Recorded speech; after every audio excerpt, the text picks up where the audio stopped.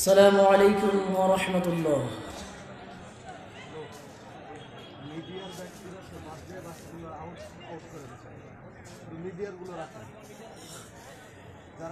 أعوذ بالله من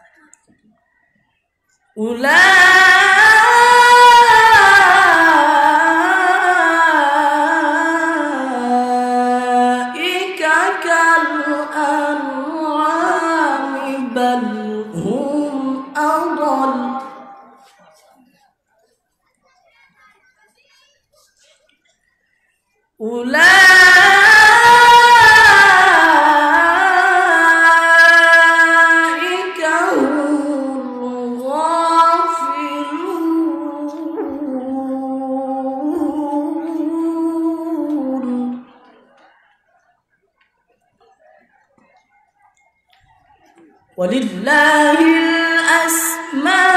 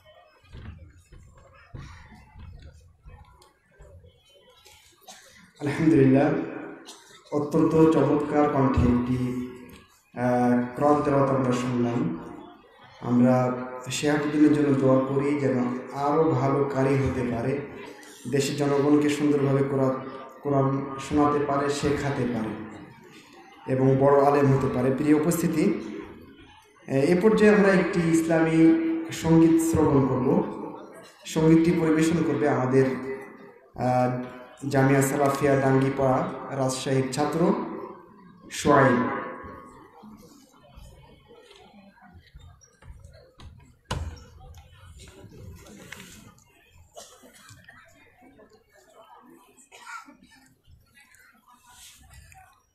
السلام عليكم ورحمة الله وبركاته.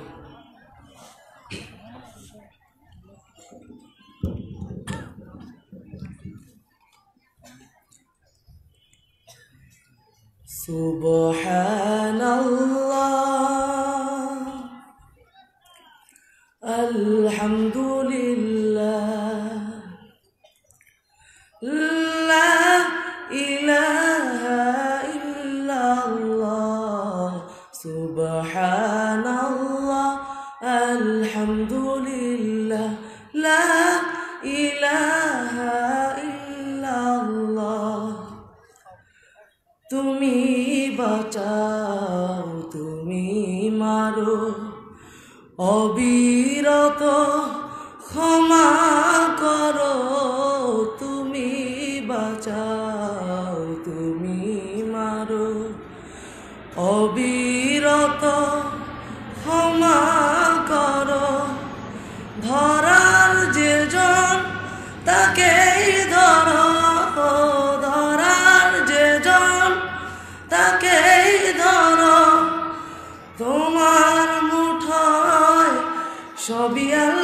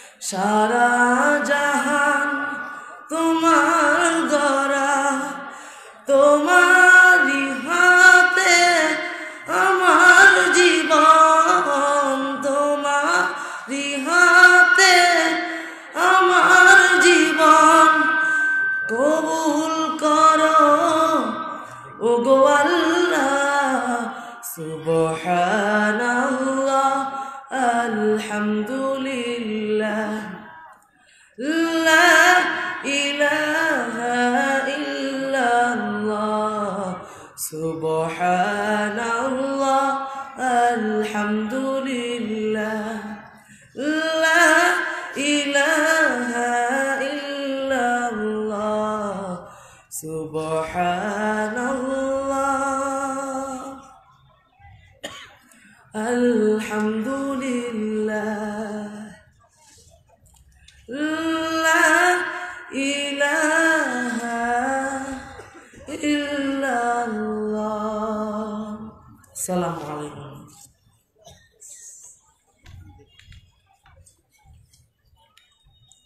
মাশাল্লাহ খুবই চমৎকার একটি হামদে হামদে বাড়ি তার আমরা শুনলাম।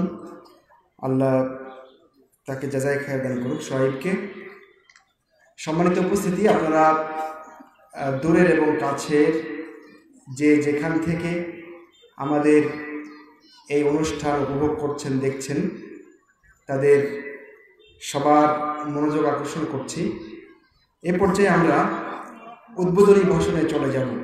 আর উদ্বোধনী ভাষণ পেশ করবেন আল জামিয়া আসসালাফিয়ার সম্মানিত প্রতিষ্ঠাতা পরিচালক শেখ আব্দুর রাজ্জাক বিন ইউসুফ হাফিজ হাফিজাহুল্লাহ আমি মোহতারামকে তার বক্তব্য পেশ করবার জন্য বিনীত অনুরোধ রাখছি।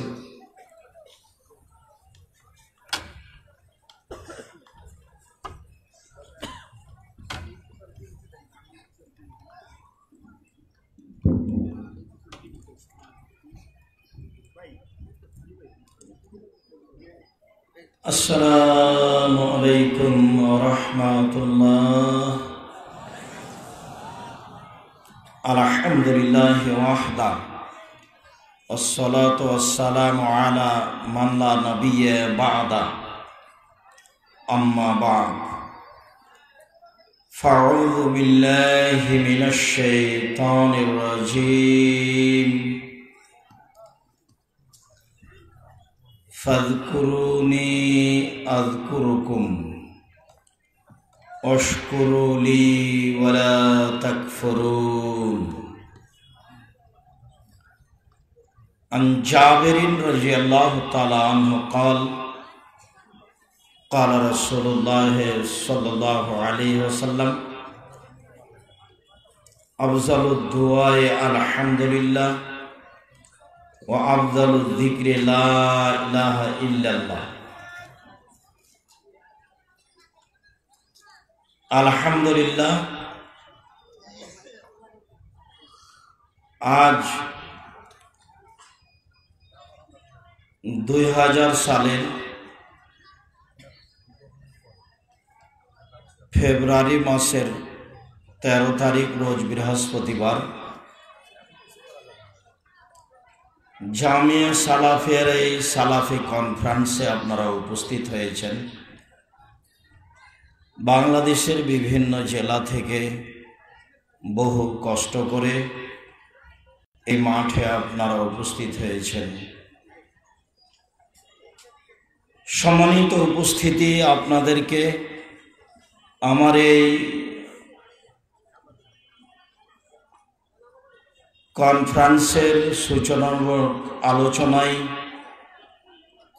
কিছু কথা বলতে গিয়ে সর্বপ্রথমে জানাই, আল্লাহ তালার প্রশংসা, আলহামদুলিল্লাহ। আল্লাহ তালা বলেন ফাদকুরুনি আদকুরুকুম পৃথিবীর মানুষ, তোমরা আমাকে স্মরণ করো, আমি তোমাদের স্মরণ করব। অস্কুরুলি ওলা তাকফুরুন। আর আমি যে অনুগ্রহ করেছি, চলাফেরা করা, খাওয়া, পান করা আরও বিভিন্ন নিয়মতারা যে ভোগ করার সুযোগ করে দিয়েছি।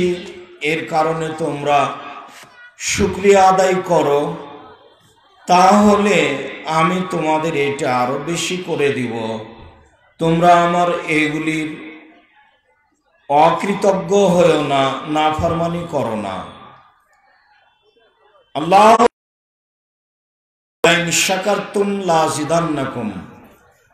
তোমরা যদি আমার এইসব অনুগ্রহের শুক্রিয়া আদায় করো, তাহলে আমি তোমাদের উপরে আমার অনুগ্রহ আরও বেশি করে দিব।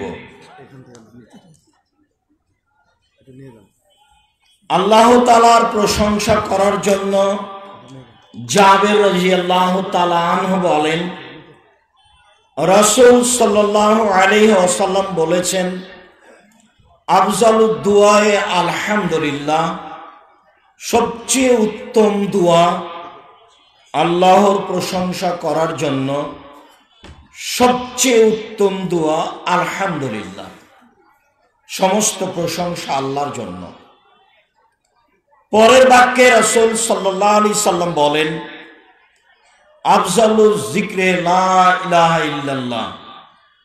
জিকির হিসাবে আল্লাহকে ডাক আর স্মরণ করার যত মাধ্যম রয়েছে, তার সবচেয়ে উত্তম মাধ্যম হল লা ইলাহা ইল্লাল্লাহ। তবে তা ধীরে ধীরে।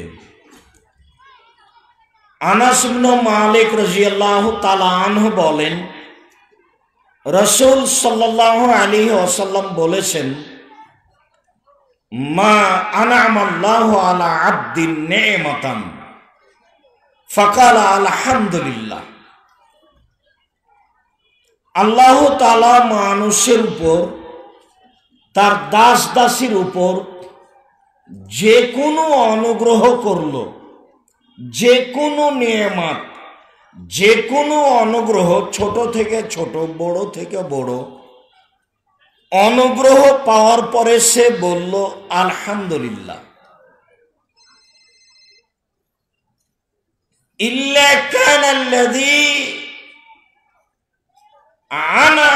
আফজালা বেমা তাহলে, বেমা খাজা তাহলে আল্লাহ তালা তাকে যা দিয়েছেন যেই অনুগ্রহ পেয়েও আলহামদুলিল্লাহ বলেছে, পাওয়ার সাথে সাথে যদি আলহামদুলিল্লাহ বলে, তাহলে আল্লাহ তালার উপরে আবার এক জিম্মেদারি চলে আসে, তার চেয়ে উত্তম একটা অনুগ্রহ তাকে প্রদান করা।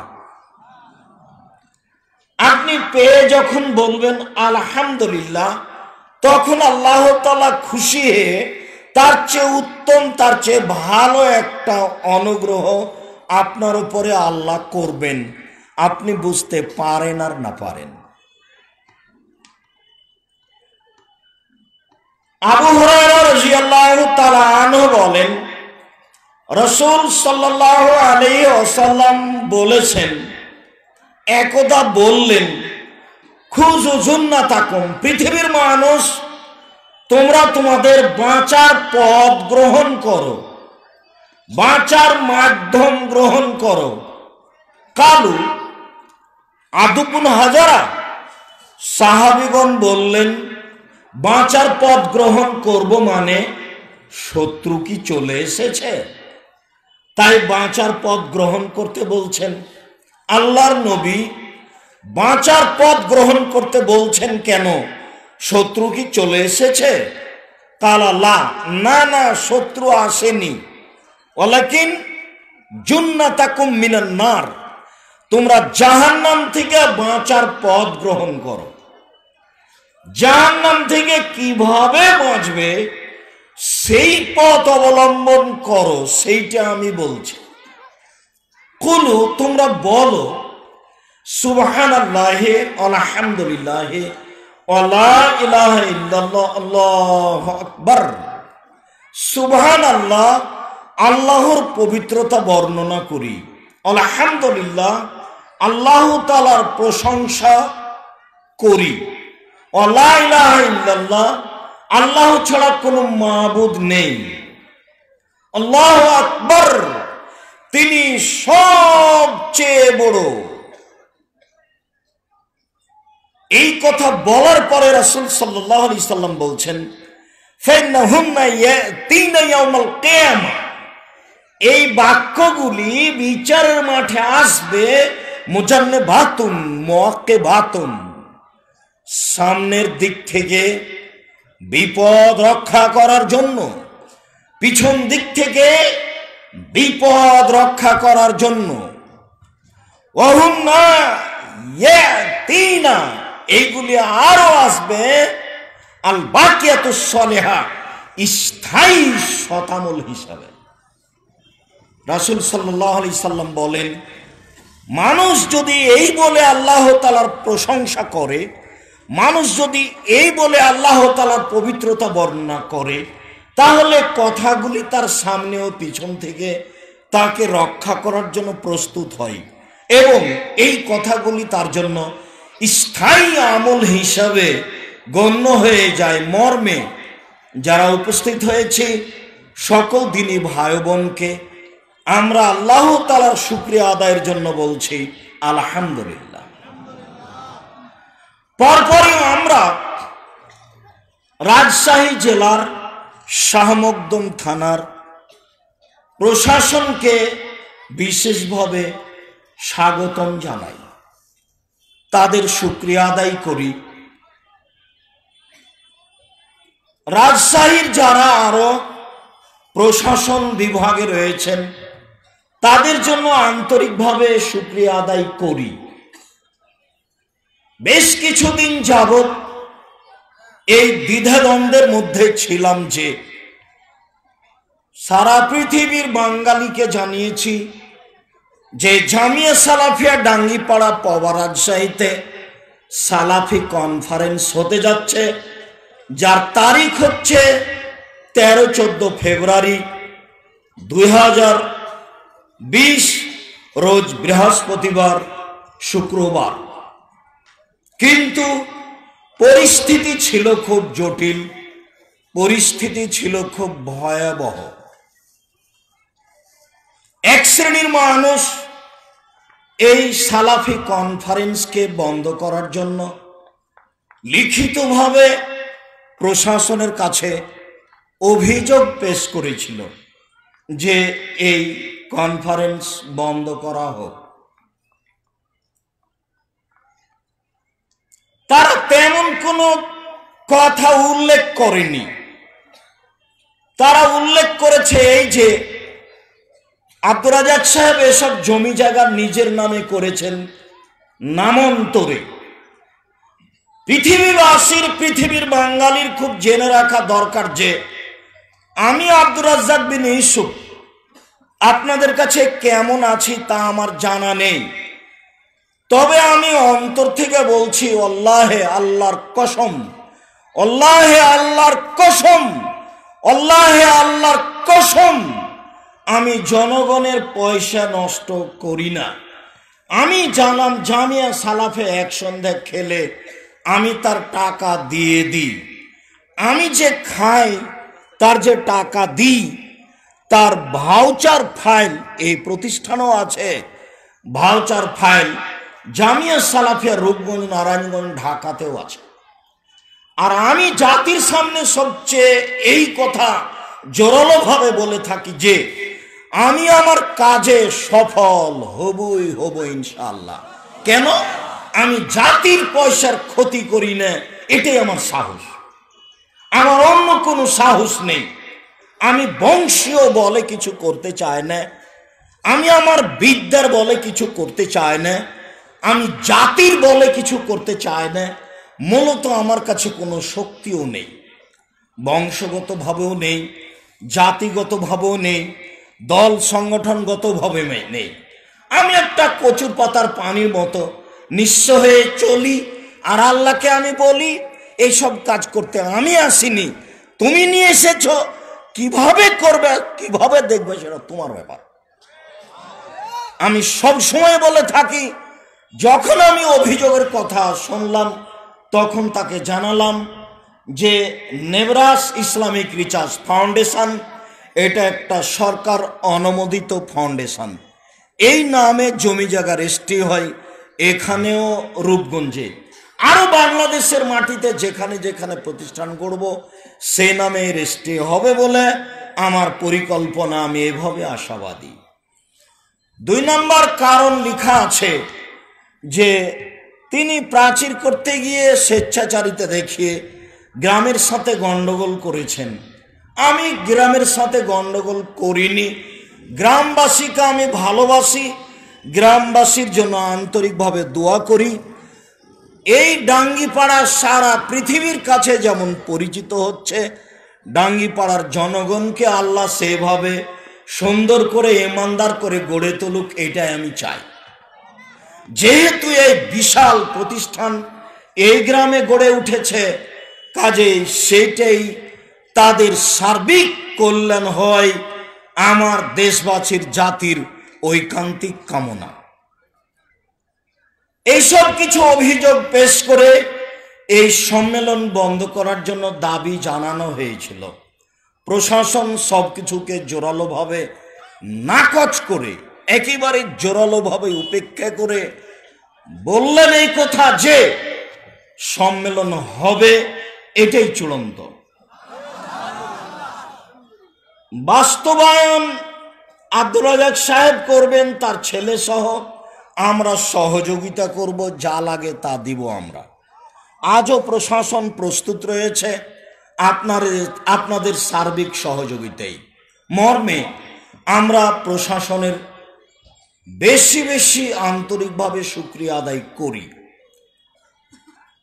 সম্মানিত উপস্থিতি সাময়িকভাবে সালাফি কনফারেন্স নামটি লিখতে না করা হয়েছে। তাই লেখা আছে, সম্মেলন আপনার ওই তেরো চোদ্দ ফেব্রুয়ারি চতুর্থ বর্ষের সম্মেলন। আমি তা তাৎক্ষণিকভাবে না করিনি, তবুও প্রশাসনকে বলে রেখেছি যে সাময়িক দুই একজনের বিরোধিতার কারণে, জানি না তারা কেন বিরোধিতা করছে? সালাফি কনফারেন্স বিবোধ কনফারেন্সের বিরোধিতা করতে হবে। এরকম আকিদে মুসলমানের থাকবে, এটা হতেই পারে না।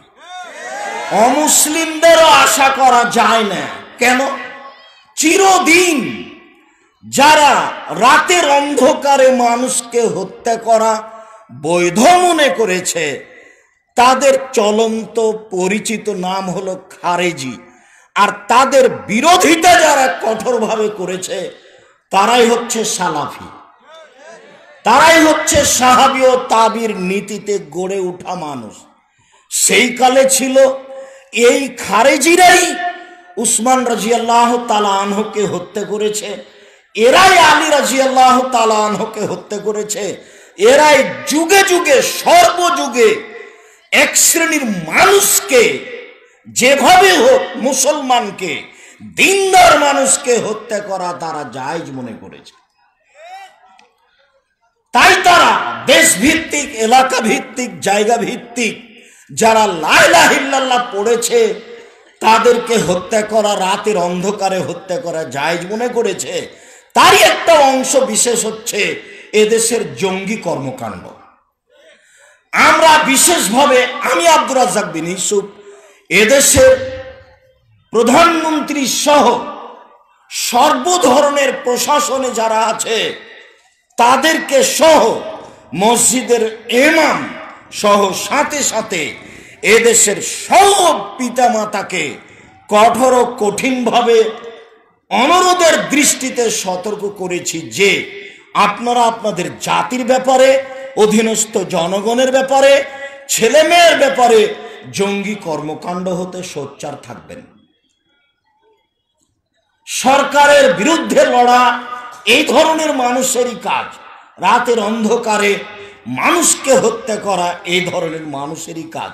চিরদিন যারা এই ধরনের নীতির, নোংরা নীতির চরম বিরোধিতা করেছে, তারাই হচ্ছে সালাফি। ওই সালাফি তাদের আকিদাতেই গড়ে ওঠা মানুষ যারা, তারা তাদেরকে নিজেদেরকে সালাফি বলে পরিচয় দিয়ে থাকে। সেই পরিচয়ই হচ্ছে জামিয়া সালাফিয়া লালপুর, পাকিস্তান।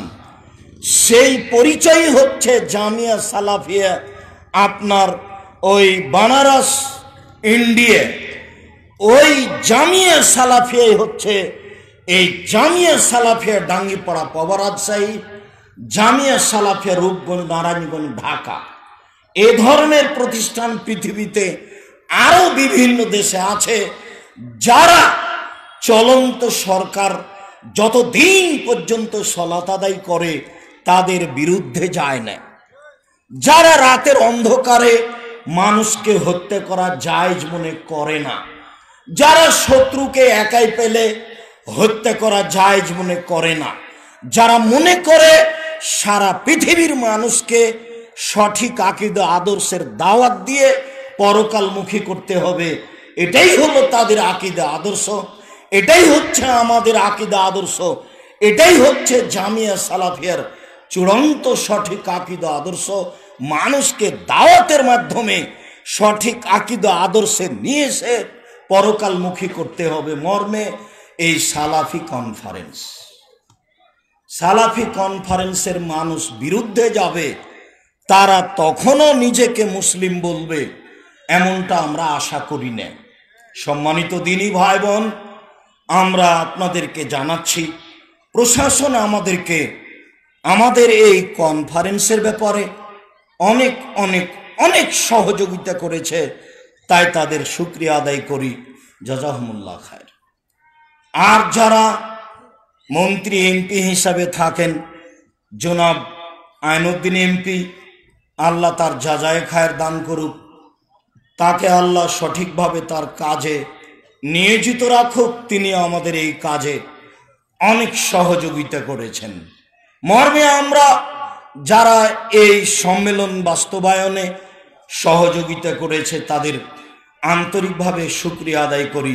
জাজাহমুল্লাহ খায় পরপরই আপনাদের সার্বিক সহযোগিতা রয়েছে। আমাদের শিক্ষক মণ্ডলী, আমাদের ছাত্র ছাত্রীরা আমাদের মহিলা শাখায় যেসব মহিলারা অবস্থান করবে, তাদের সহযোগিতা রয়েছেন শিক্ষিকাগণ, আমাদের ছাত্রীরা। আপনারা যারা এখানে আছেন, আপনাদের সার্বিক সহযোগিতায় রয়েছেন। আমার শিক্ষক মণ্ডলী এবং ছাত্রবৃন্দ। দুই প্রতিষ্ঠান মিলে দুই হাজার নয়শো সাতান্ন জন ছাত্রছাত্রী রয়েছে, প্রায় সবাই আবাসিক। তার পাঁচশো পঁয়ত্রিশ জন হচ্ছে অসহায় এতিম। তার একশো পনেরো জন হচ্ছে শুধু এতিম। যাদের খাওয়া ভার দায় দায়িত্ব ভার আপনাদের সহযোগিতায় জামিয়া সালাফিয়া নামান্তরে বলতে হয়, জামিয়া সালাফিকে যে পরিচালনা করে নেব্রাস ইসলামিক রিচার্জ ফাউন্ডেশন, এ নেব্রাস বহন করে থাকে, যেখানে আপনারা সহযোগিতা করে থাকেন। তাদের আমরা সুক্রিয়া আদায় করি। বাংলাদেশের বিভিন্ন জেলা থেকে ফজরের সলাতে জানতে পেরেছি, বরিশাল থেকে এসেছেন, ভোলা থেকে এসেছেন আপনার ওই ফরিদপুর থেকে এসেছেন, নোয়াখালী থেকে এসেছেন, আরও দিনাজপুর, রংপুর, পঞ্চগড় থেকে এসেছেন, সিলেট থেকে এসেছেন, বাংলাদেশের বিভিন্ন জেলা, দূরদূরান্ত বিভিন্ন প্রান্ত থেকে এসেছেন। মর্মে আপনাদের শুক্রিয়া আদায় করি। জাজাকুমুল্লা খায়ের। আজকের জন্য আমরা আপনাদের খুব একটা বেশি সহযোগিতা করতে পারব তা বলতে পারছি না, তবে টয়লেট হিসাবে পাশে উনিশটি টয়লেট আছে, না পনেরোটি টয়লেট আছে, নিচে তালায় দুই দিকে দশটা দশটা, বিশটা আছে। দুই, তিন, চার সব জায়গাতেই টয়লেট আছে। এইগুলি আপনাদের বেশি প্রয়োজন হয়ে থাকে। খাওয়ার ব্যাপারে আপনাদের কিছু প্রয়োজন হয়ে থাকে। আমি সূচনায় সময় সাপেক্ষে আপনাদের সহযোগিতায় থাকবে। তারা আপনারা এগুলি প্রয়োজনে ব্যবহার করবেন। যারা দূর দূরান্ত থেকে এসেছেন, সবার কাছে ঐকান্তিক কামনা, সবাই পরস্পর ভালোবাসা বজায় রেখে, কারোর সাথে কোনো ব্যাপারে কঠোরতা না দেখিয়ে, রাগ না করে, ধৈর্যের পরিচয় দিয়ে থাকবেন, কাজ করে আসবেন বলে আশাবাদী। আমি আব্দুর রাজ্জাক বিন ইউসুফ, আপনাদের একজন সাধারণ খাদেম, সকলের কল্যাণ কামনা করে বলছি আল্লাহ আমরা তো মানুষ আমাদের ভুল ত্রুটি থাকতেই পারে। তুমি মানুষ হিসাবে ভুল ত্রুটিকে ক্ষমা করো। এই জামিয়া সালাফিয়া ডাঙ্গিপাড়া পবা রাজশাহী জামিয়া সালাফিয়া রূপগঞ্জ নারায়ণগঞ্জ ঢাকা এবং আর যেসবগুলি শাখা তৈরি করতে যাব এসবগুলিকে তুমি কিয়ামত পর্যন্ত কবুল করো।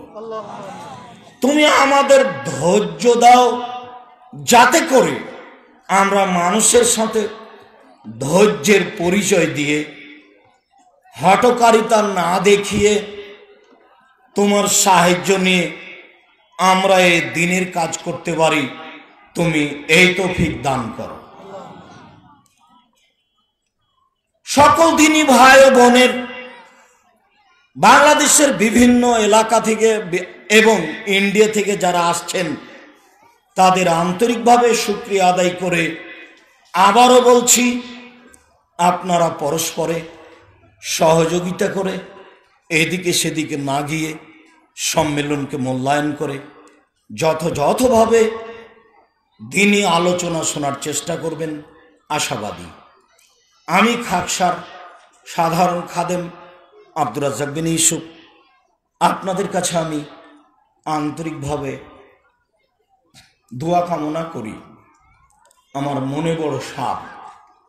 এদেশের মাটিতে আমি উন্নত মানের প্রতিষ্ঠান গর্বই গর্ব ইনশাল্লাহ আমার মনে বড় সাপ, এদেশের মাটিতে আমি উন্নত মানের প্রতিষ্ঠান গর্বই গড়ব ইনশাল্লাহ সেটাই মনে করছি, জামিয়া সালাফে ডাঙ্গিপাড়া পাবা রাজশাহী। সেটাই মনে করছি, জামিয়া সালাফে রূপগঞ্জ, নারায়ণগঞ্জ, ঢাকা। পৃথিবীর বিভিন্ন প্রান্ত থেকে, বাংলাদেশের বিভিন্ন জেলা থেকে বিভিন্নভাবে সহযোগিতা করে এই কনফারেন্সকে, এই প্রতিষ্ঠানকে মূল্যায়ন করবেন বলে আশাবাদী। এটাই আপনাদের প্রাণের মসজিদ। প্রায় নব্বই শতাংশ জমির উপরে অবস্থিত, যার একতলাতে তিন হাজার মুসল্লি সলাত আদায় করতে পারবে। তিন থেকে চারতলা হতে পারে। সময়ের গতিতে আমি আমার কথা বলব ইনশাল্লাহ সকলের শুক্রিয়া আদায় করে, সকলের সার্বিক আল্লাহর নিকটে কল্যাণ কামনা করে সূচনার আলোচনা আপাতত আজকের মতো এখানেই শেষ করলাম। সুবহানাক আল্লাহ আবেহামদিকা আশহাদুল্লাহ ইলাহা ইল্লা আনতা, আস্তাগফিরুকা ওয়া আসসালামু আলাইকুম রাহমাতুল্লাহ।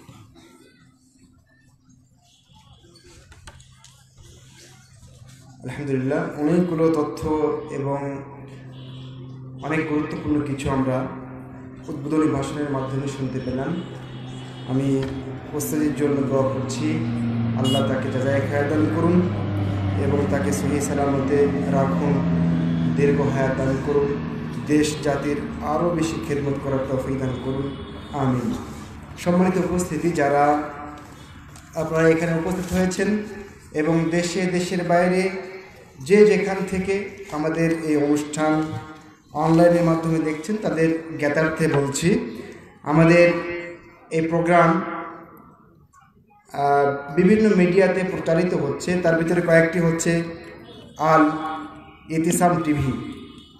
আল ইতিসাম টিভি আরও আছে, তাওহিদ মিডিয়া ট্রু টক আর তাজদিদ মিডিয়া আল ফুরকান মিডিয়া সহ আরও বেশ কিছু মিডিয়া আমাদের এই প্রোগ্রাম সরাসরি দেখাচ্ছে। আপনারা সেখান থেকে দেখবেন এবং প্রচার করবেন শেয়ার করবেন বন্ধুদের সাথে। তাহলে তারাও নিজের এলাকায় থেকে বাড়িতে বসে তারা এই প্রোগ্রামের উপকারিতা অর্জন করবে ইনশাআল্লাহ।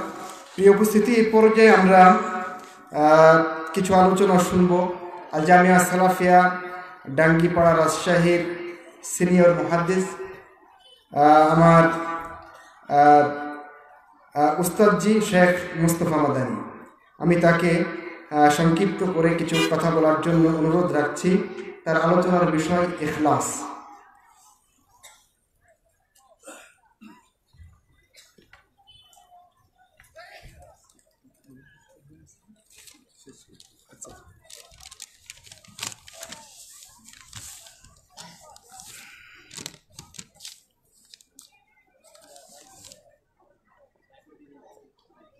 السلام عليكم ورحمة الله وبركاته.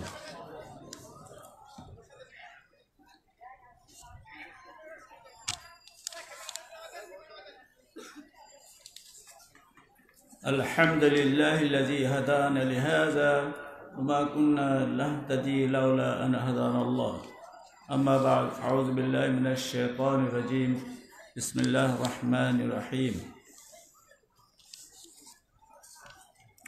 قالوا عز وجل وما أمروا إلا ليعبدوا الله مخلصين له الدين حنفاء ويقيموا الصلاة ويؤتوا الزكاة وذلك دين القيمة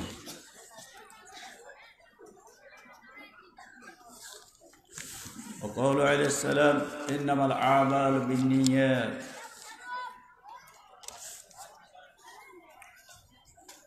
সর্বপ্রথমে আল্লাহ রব্বুল আলমিনের দরবারে জানাই আলহামদুলিল্লাহ। আবার বলি আলহামদুলিল্লাহ। আল্লাহর প্রশংসা যে করতে হবে, এতে আল্লাহ খুশি হন। এতক্ষণ আলোচনা শুনলেন। এই জন্য যে গত বছর যারা কষ্ট করে এসেছিলেন, তারা এই দিনটিকে মনে রেখেছেন। এই জন্য সে লক্ষ্যে আবার বলি, আলহামদুলিল্লাহ, কোনো এরকম সমস্যা এ পর্যন্ত আসে নাই। ইনশাল্লাহ আমাদের দুই দিনের এই প্রোগ্রাম আল্লাহ রবুল্লা আলমিন যথার্থ পূরণ করাবেন। এই জন্য আল্লাহর কাছে শুক্রিয়া জ্ঞাপন করে আপনাদের সম্মুখে মাত্র দুইটি কথা বলে শেষ করব। এতক্ষণ আপনারা শুনলেন এত বিশাল প্রতিষ্ঠান তৈরি করা, গড়ে তোলা চারটিখানি ব্যাপার না। আল্লাহ রবুল্লা আলমিন এরকম লোককে বেছে নেন পৃথিবী থেকে, যাদের দ্বারাতে এরকম বড় কিছু বড় আরও কাজ হতে পারে। আল্লাহ ইবনে তাইমিয়া ইবনে কাইম জাউজিয়া, আরও বড় বড় যারা মুফাসসির মুআরিখ অতীত হয়ে গেছেন তাদের কলমটা এই জনগণের খিদমত, ইসলামের খিদমতের জন্য আল্লাহ রবুল্লা আলমিন তাদের কলমকে চালিয়েছিলেন বলে আজকে আমরা তাদের তাফাসির ইতিহাস, বিভিন্ন গ্রন্থ থেকে আমরা উপকৃত হয়ে থাকি। আল্লাহ রবুল্লা আলমিন এই প্রতিষ্ঠানকে যে কবুল করেছেন, আল্লাহ রবুল্লাহ পিছনে অনেক কিছু যে সহায়তা হয়ে যাচ্ছেন, আমরা এটা পরিলক্ষিত। যা এতক্ষণ আলোচনা শুনলেন, কি একটা বিভীষিকাময় পরিস্থিতি সৃষ্টি হয়েছিল। আল্লাহ রবুল আলমী সেই থেকে সরিয়ে দিয়েছেন। আবার বলে, আলহামদুলিল্লাহ। আলোচ্য বিষয় হচ্ছে কি, ইখলাস। আমাদের চলার জীবনে দিবানিশি আমরা মাঠে ময়দানে কোনো জিনিস ক্রয় করতে গেলে আমরা ভালো জিনিসটা বেছে নেওয়ার চেষ্টা করি, নাকি বলেন? সামান্য অল্প দামের হোক বা বেশি দামের হোক, সেটিকে আমরা যাচাই বাছাই করে গ্রহণ করে থাকি। সামান্য একটু ত্রুটি থাকলে সেটা আমরা গ্রহণ করতে রাজি নয়। এই জন্য যে আমাদেরকে পয়সার বিনিময়ে সেটা গ্রহণ করতে হয়। সুতরাং পৃথিবীর নিয়ম নীতি যেটা, সাধারণ মানুষের নিয়ম নীতি যেটা, এটা হলো এই, যখন কোন জিনিস কিনতে যাবে, সামান্য মূল্যের হলেও সেটিকে আপনারা যাচাই করে নিয়ে থাকেন, সামান্য একটু ক্ষোভ থাকলে সেটা গ্রহণ করেন না। আল্লাহ রবুল্লা আলমিন যেমন বিরাট বিরাট নেকির কাজগুলো, আমলগুলো উল্লেখ করেছেন সেগুলোকেও আল্লাহ রবুল্লা আলমিন ওইভাবে তার যাজা তার প্রতিদানের কথা উল্লেখ করেছেন? সেগুলোকে আল্লাহ রবুল্লা আলমিন কবুল করবেন, নিখুঁত হলে নচেত কোনোটা আল্লাহ গ্রহণ করবেন না। আর এইটি আল্লাহ রবুল্লা আলমীর আদেশ। আল্লাহ বলেন, তাদেরকে আদেশ করা হয়েছিল। আল্লাহরই আনুগত্যে বিশুদ্ধ চিত্ত হয়ে একনিষ্ঠভাবে তার ইবাদত করতে এবং সালাদ কায়েম করতে ও জাকাত দিতে। ঠিক এবার এরূপভাবে আমাদেরকেও আল্লাহ রবুল্লা আলমিন তার নবীর মাধ্যমে দিনকে প্রতিষ্ঠিত করার জন্য আমাদেরকে আমাদের প্রতি যে আমল, সেটা সঠিক বলে আল্লাহর কাছে বিবেচিত হবে ওই সময় যদি আমাদের আমলগুলি আল্লাহ নবী দেওয়া পদ্ধতি অনুযায়ী হয়ে থাকে, তার তরিক অনুযায়ী হয়ে থাকে এমন কোনো কাজ যেটা আল্লাহ নবী থেকে সমর্থিত না, সেটা আল্লাহর কাছে গৃহীত হবে না। ইহা স্পষ্ট হাদিসে পাওয়া যায়। সংক্ষিপ্তভাবে আমি সময়টা নিতে চাচ্ছি। বড় থেকে বড় কাজ সেটা আল্লাহ গ্রহণ করে না। হিজরত মতো এত বড় সবের কাজ। যে হিজরত করলে পূর্বের সমস্ত গুণা মাফ হয়ে যায়, আল্লাহ ক্ষমা করে দিন। কিন্তু হিজরতটা যদি অন্য কোনো স্বার্থে হয়ে থাকে, সেটাও আল্লাহর কাছে গৃহীত হয় না। আর মানুষের জন্য সেটি হবে, নিয়ত যদি পরিষ্কার হয়ে থাকে ইচ্ছায় যদি তার ভুলন হয়ে থাকে, বড় কিছু নেকির পিছনে যদি উদ্দেশ্য খারাপ হয়ে থাকে, কিছু নেকি দেওয়া হবে না। ইন্নামা এতকাব্বাল মিনাল মোত্তাকিন। আল্লাহ আলমিন একমাত্র মোত্তাকিদের আমল কালকে গ্রহণ করে থাকেন। অতএব হিজরতটা যদি আল্লাহর উদ্দেশ্যে না হয়ে থাকে, সেটি গ্রহণ হতে হবে না। কোনো এক ব্যক্তি হিজরত করেছিল সে, কোনো মেয়েকে পাওয়ার উদ্দেশ্যে, এটা একটু ঘটনা আছে হাদিসেই, সংক্ষেপে বলতে চায় সে ব্যক্তি এত বড় নেকের কাজ করে, সে নেকি পেল না। সে মহিলার উদ্দেশ্যে হিজরত করেছিল, তার ভাইকে ওইটি এলো মহিলাকে পেল, কিন্তু হিজরত করার যে একটা নেকি ছিল, সেটা বঞ্চিত হলো।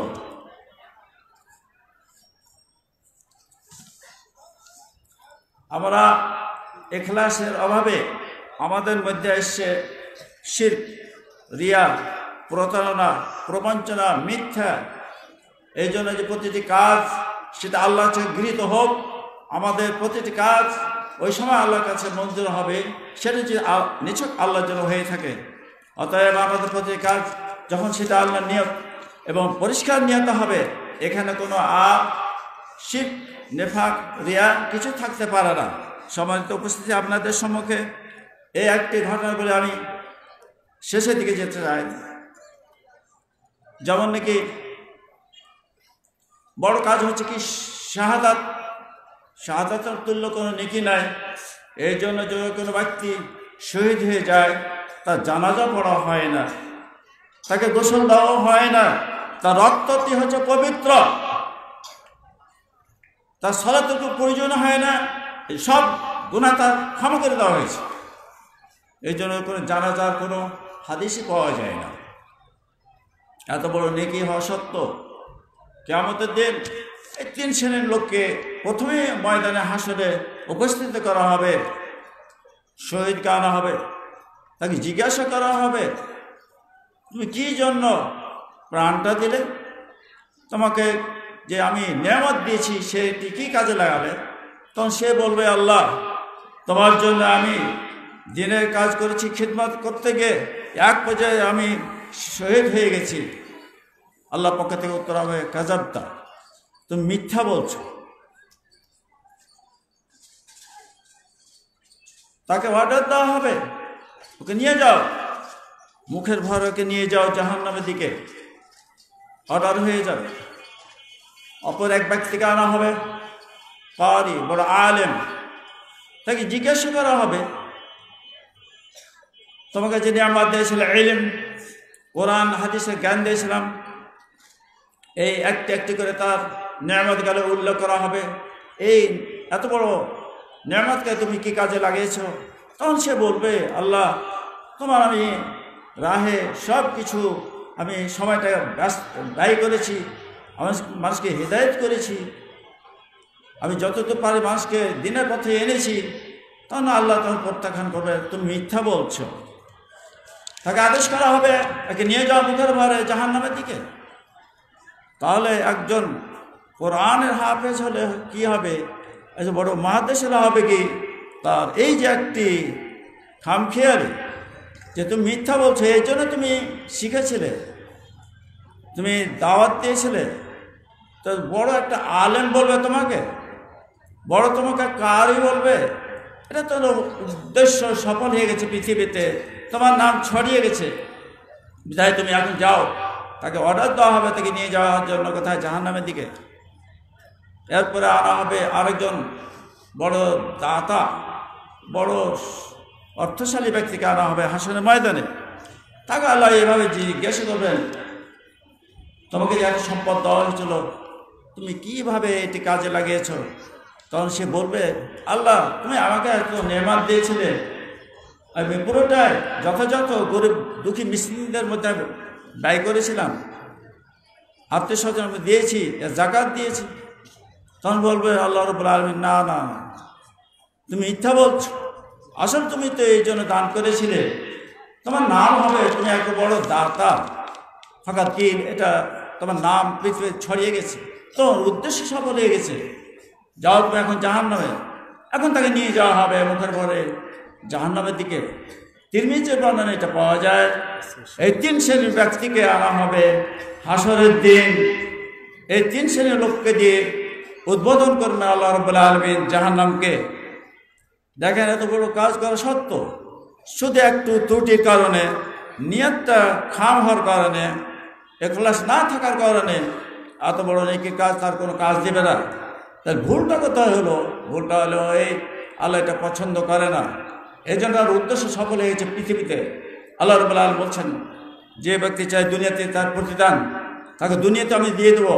আল্লাহ খালাক। তার পরকালে তার কিছু সে অংশ পাবে না। আল্লাহ রবুল্লা আলমিন আমাদের সকলের যেটুকু আমরা শ্রম করি, আল্লাহ সন্তুষ্টির জন্য যেন হয়, যা কিছু আমরা দান করি সেটা আল্লাহকে খুশি করার জন্য হয়, যা দুটি পয়সা লাগাবো সেটা যেন আল্লাহ খুশি করার জন্য হয়, যে কোনো সেবা আমরা দেবো আল্লাহকে সন্তুষ্টির জন্য হয়। এই আপনাদের কাছে আমি আবেদন রেখে আমার সংক্ষিপ্ত বক্তব্য ইতি করছি। আল্লাহুম্মা ওয়া বিহামদিকা আশহাদু আল্লা ইলাহা ইল্লা আনতা, আস্তাগফিরুকা ওয়া আতুবু ইলাইক।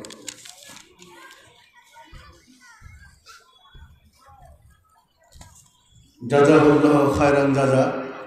ধন্যবাদ শেখ মুস্তফা মাদানী ওস্তাদিকে এখলাসের উপরে অনেক গুরুত্বপূর্ণ বিষয় আমাদের সামনে তুলে ধরেছেন।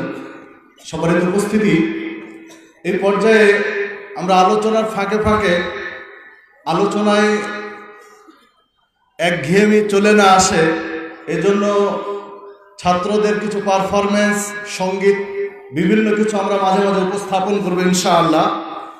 তো এ পর্যায়ে আমাদের সামনে আল জামিয়া আসালাফিয়ার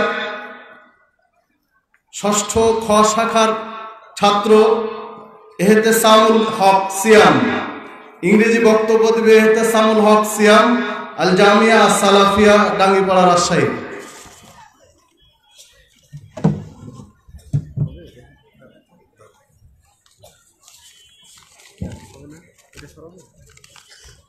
হবে না? হবে হবে। একটু আমায় দিই।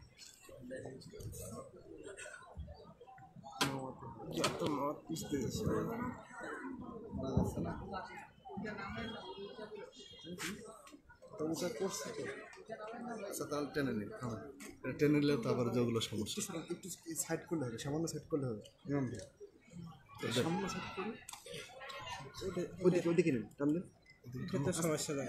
অল্প অল্প অল্প ওখানে থাক ওটা থাক। ওটা ওটা ওটা টানতে হবে। ওটা টানতে হবে। বাস। কিছু হবে না আধা? ওই আধা আধা। অনুষ্ঠানে দিয়ে দিই। না। ওই না এই যে সব ইয়েগুলো না, এই যে এইগুলো সমস্যা যে সব স্পিকার এখানে হ্যাঁ।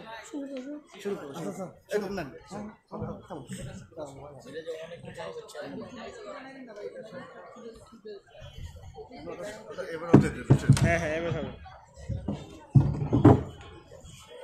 দাঁড়াতে হ্যাঁ হ্যাঁ।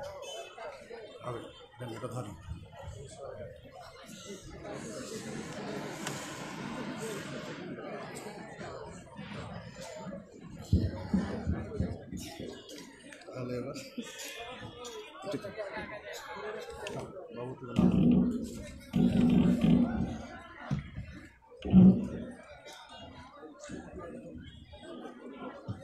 অল্প উঠান তাহলে জি জি হ্যাঁ হ্যাঁ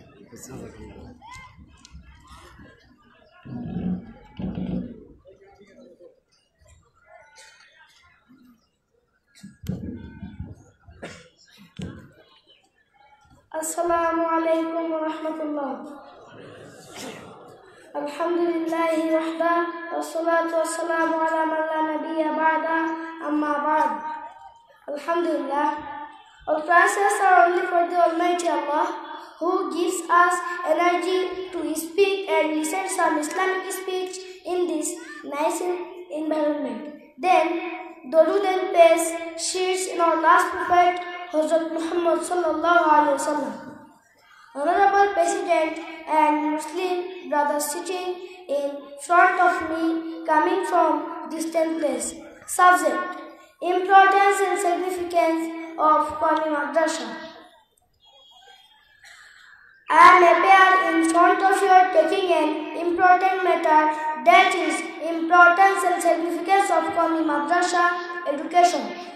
Honorable people, Qawmi means national, national and madrasa means institution. So, Qawmi madrasa means national institution or education of national madrasa.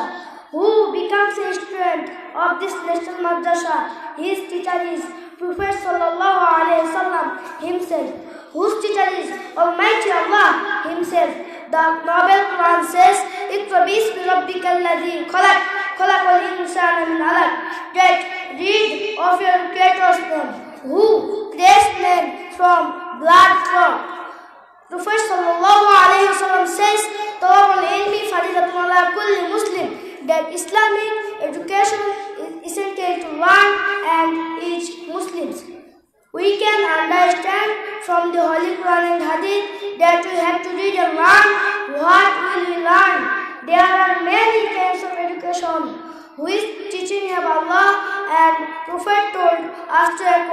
The teaching who is transmitted to Allah. Man can establish justice by his teaching and can able to remove all injustice from the world. So that the end of page can go to the world. So this teaching, Islamic education, that is education of Quran and Hadith. May Allah bless us to acquire knowledge of Quran and Hadith. To sum up, therefore for me so that I can be a true alim to serve the society. Allahumma amin, summa amin. Assalamu alaikum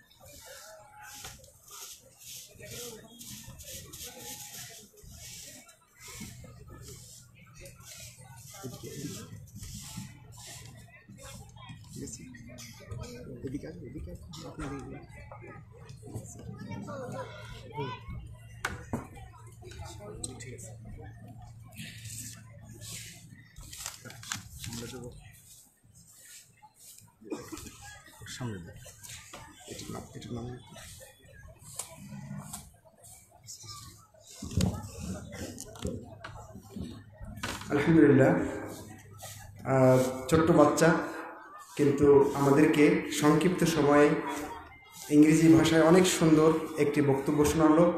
আল্লাহ তাকে দিনের খাদেম, বড় আলেম হওয়ার তৌফিক দান করুন। আমি প্রিয় উপস্থিতি, এ পর্যায়ে ইমাম আবু হানিফা রহিমাহুল্লাহ ও প্রচলিত হানাফি মাযহাব, এই দুটোর ভিতরে কি তারতম্য রয়েছে, কি পার্থক্য রয়েছে, সে বিষয়ে খুব সংক্ষিপ্ত কিছু কথা নিয়ে আসবেন। শেখ আব্দুল মতিন মাদানি, শিক্ষক আল জামিয়া সালাফিয়া, রূপগঞ্জ, নারায়ণগঞ্জ।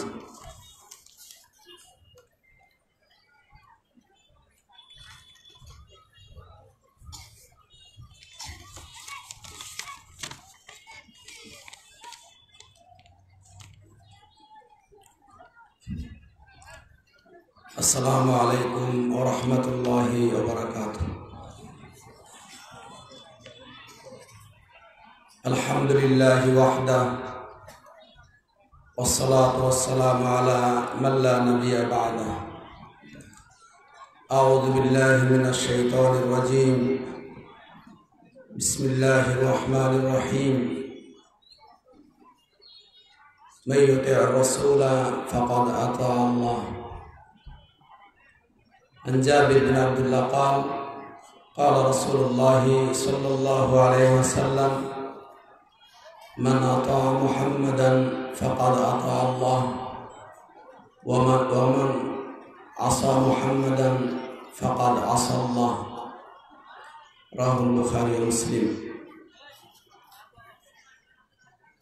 قال إمام أبو حنيفة رحمه الله إذا صح الحديث for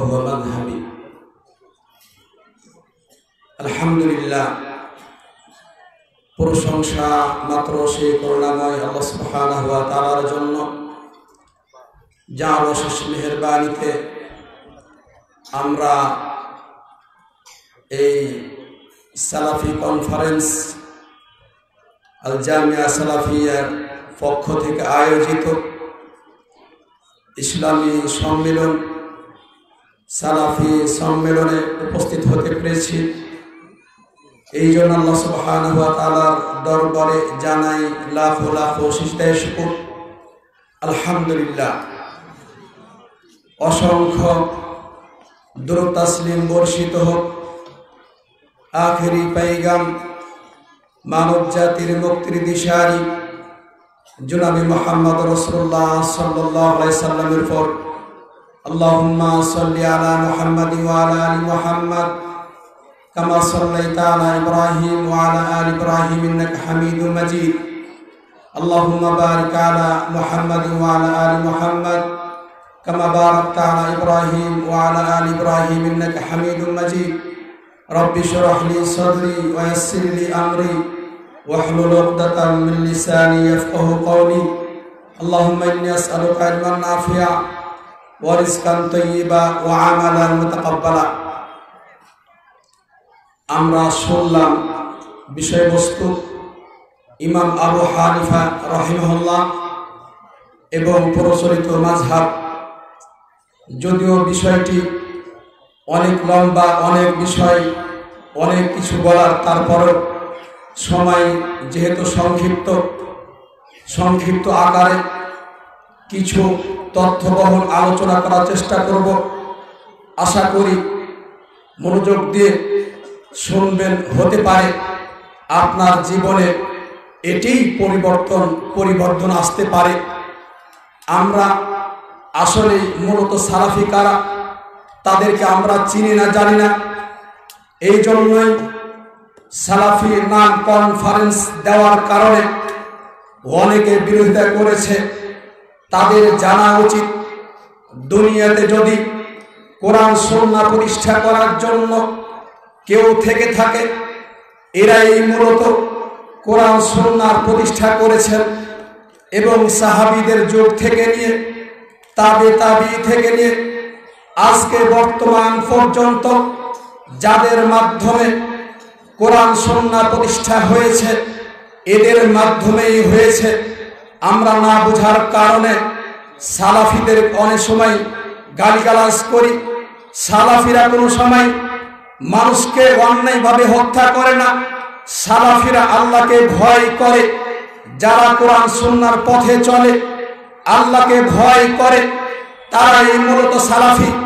যারা সালাফি দাবিদার, তারা কোশ্চিন কালেও কোনোদিনই অন্যায় অপকর্মের কাছে ধারে যায় না।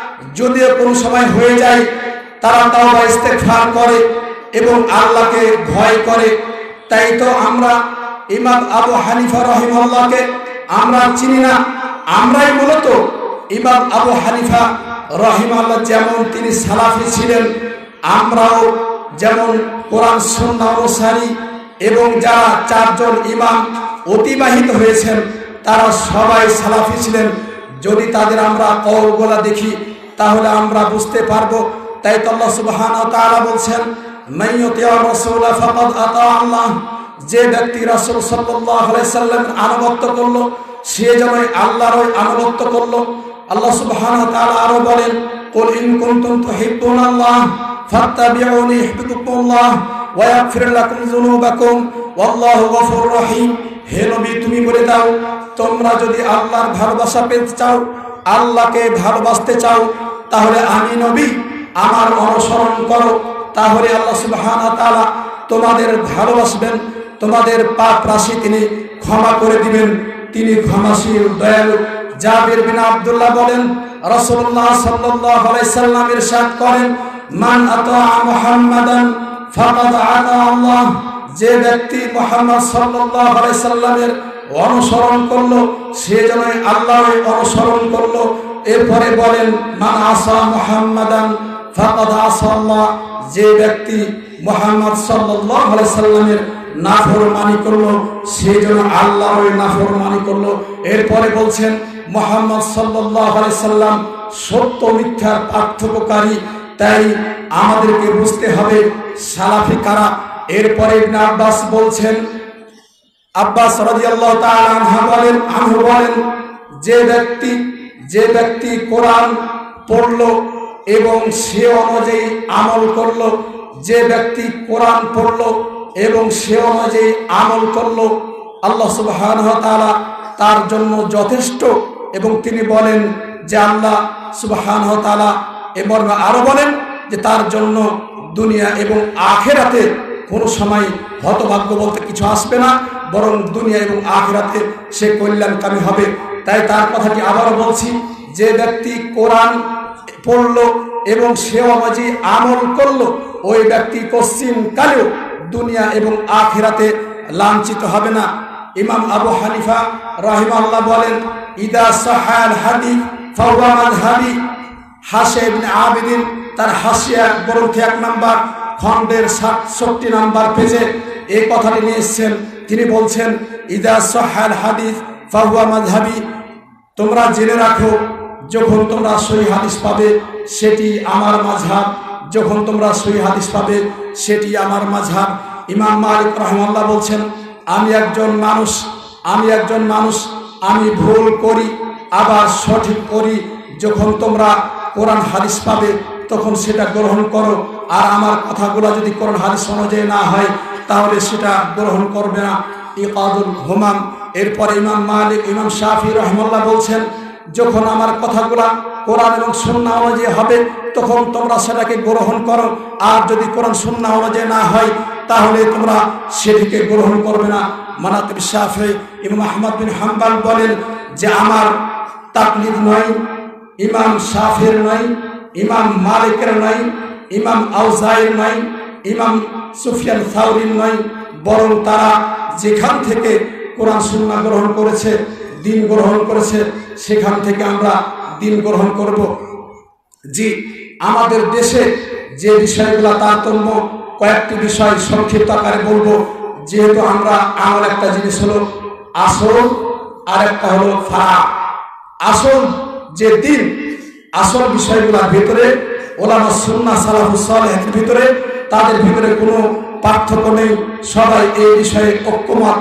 তো ইমাম আবু হানিফা রহিমাল্লাহ সম্পর্কে আমরা কিছু আকিদা জানব এবং যারা ইমাম, আমরা যারা আপনার প্রচলিত মাঝহাবের অনুসরণ করি, তারা কি অনুসরণ করেন দেখেন। ইমাম আবু হানিফা রহিমাল্লাহ মর্মে একটি গ্রন্থ রয়েছে, উসরুদ্দিন, দুক্তুর আব্দুর রহমান ফোমাইস তিনি লিখেছেন, যারা আলিমালাম রয়েছেন, তাদেরকে বলব এই বইটি পড়া। এই বইটি রিয়াদ ইউনিভার্সিটিতে তিনি ইমাম আবু হানিফা রহিমাল্লাহ আকিদার উপর তার যে আকিদা ছিল, এ নিয়ে তিনি পিএইচডি করেছেন। এই বইয়ে তিনি অনেক কথা লিখেছেন।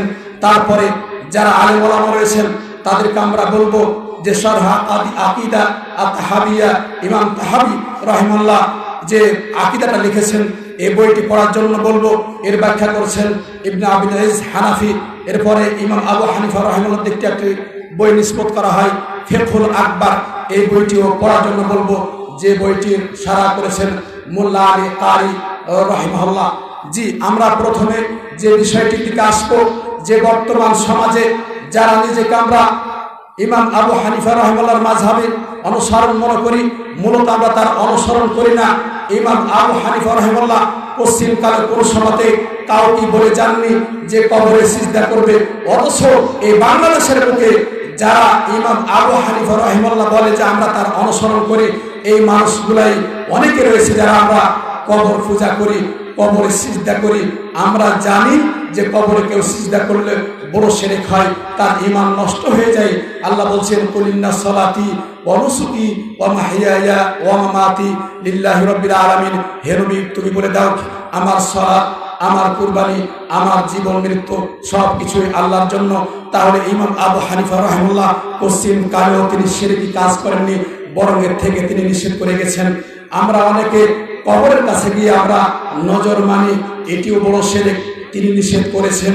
আমরা অনেক সময় দেখবেন যারা কবর পূজারি, যারা নিজেকে ইমাম আবু হানিফাকে ইমাম দাবি করি, তাদেরকে বলছি, জেনে রাখেন, তিনি এর বিরুদ্ধে বিরুদ্ধাচারণ করে গেছেন এবং তিনি মূলত সালাফি ছিলেন এবং সালাফি ছিলেন বলেই তিনি সেরেকি কাজের বিরুদ্ধে তিনি জিহাদ করে গেছেন এবং কলমের মাধ্যমে তিনি যেভাবে তার প্রচার করে গেছেন, বিভিন্ন বইয়ের মাধ্যমে আমরা পাই যে তিনি, যেগুলো আমরা এখন বর্তমানে কবর কেন্দ্রিক আমরা নজর মানি এগুলা থেকে তিনি নিষেধ করেছেন।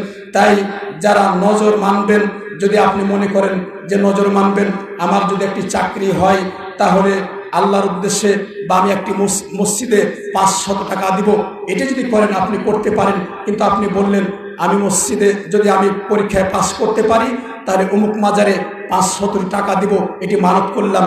এটিই বড় সেরে এটি করা যাবে না।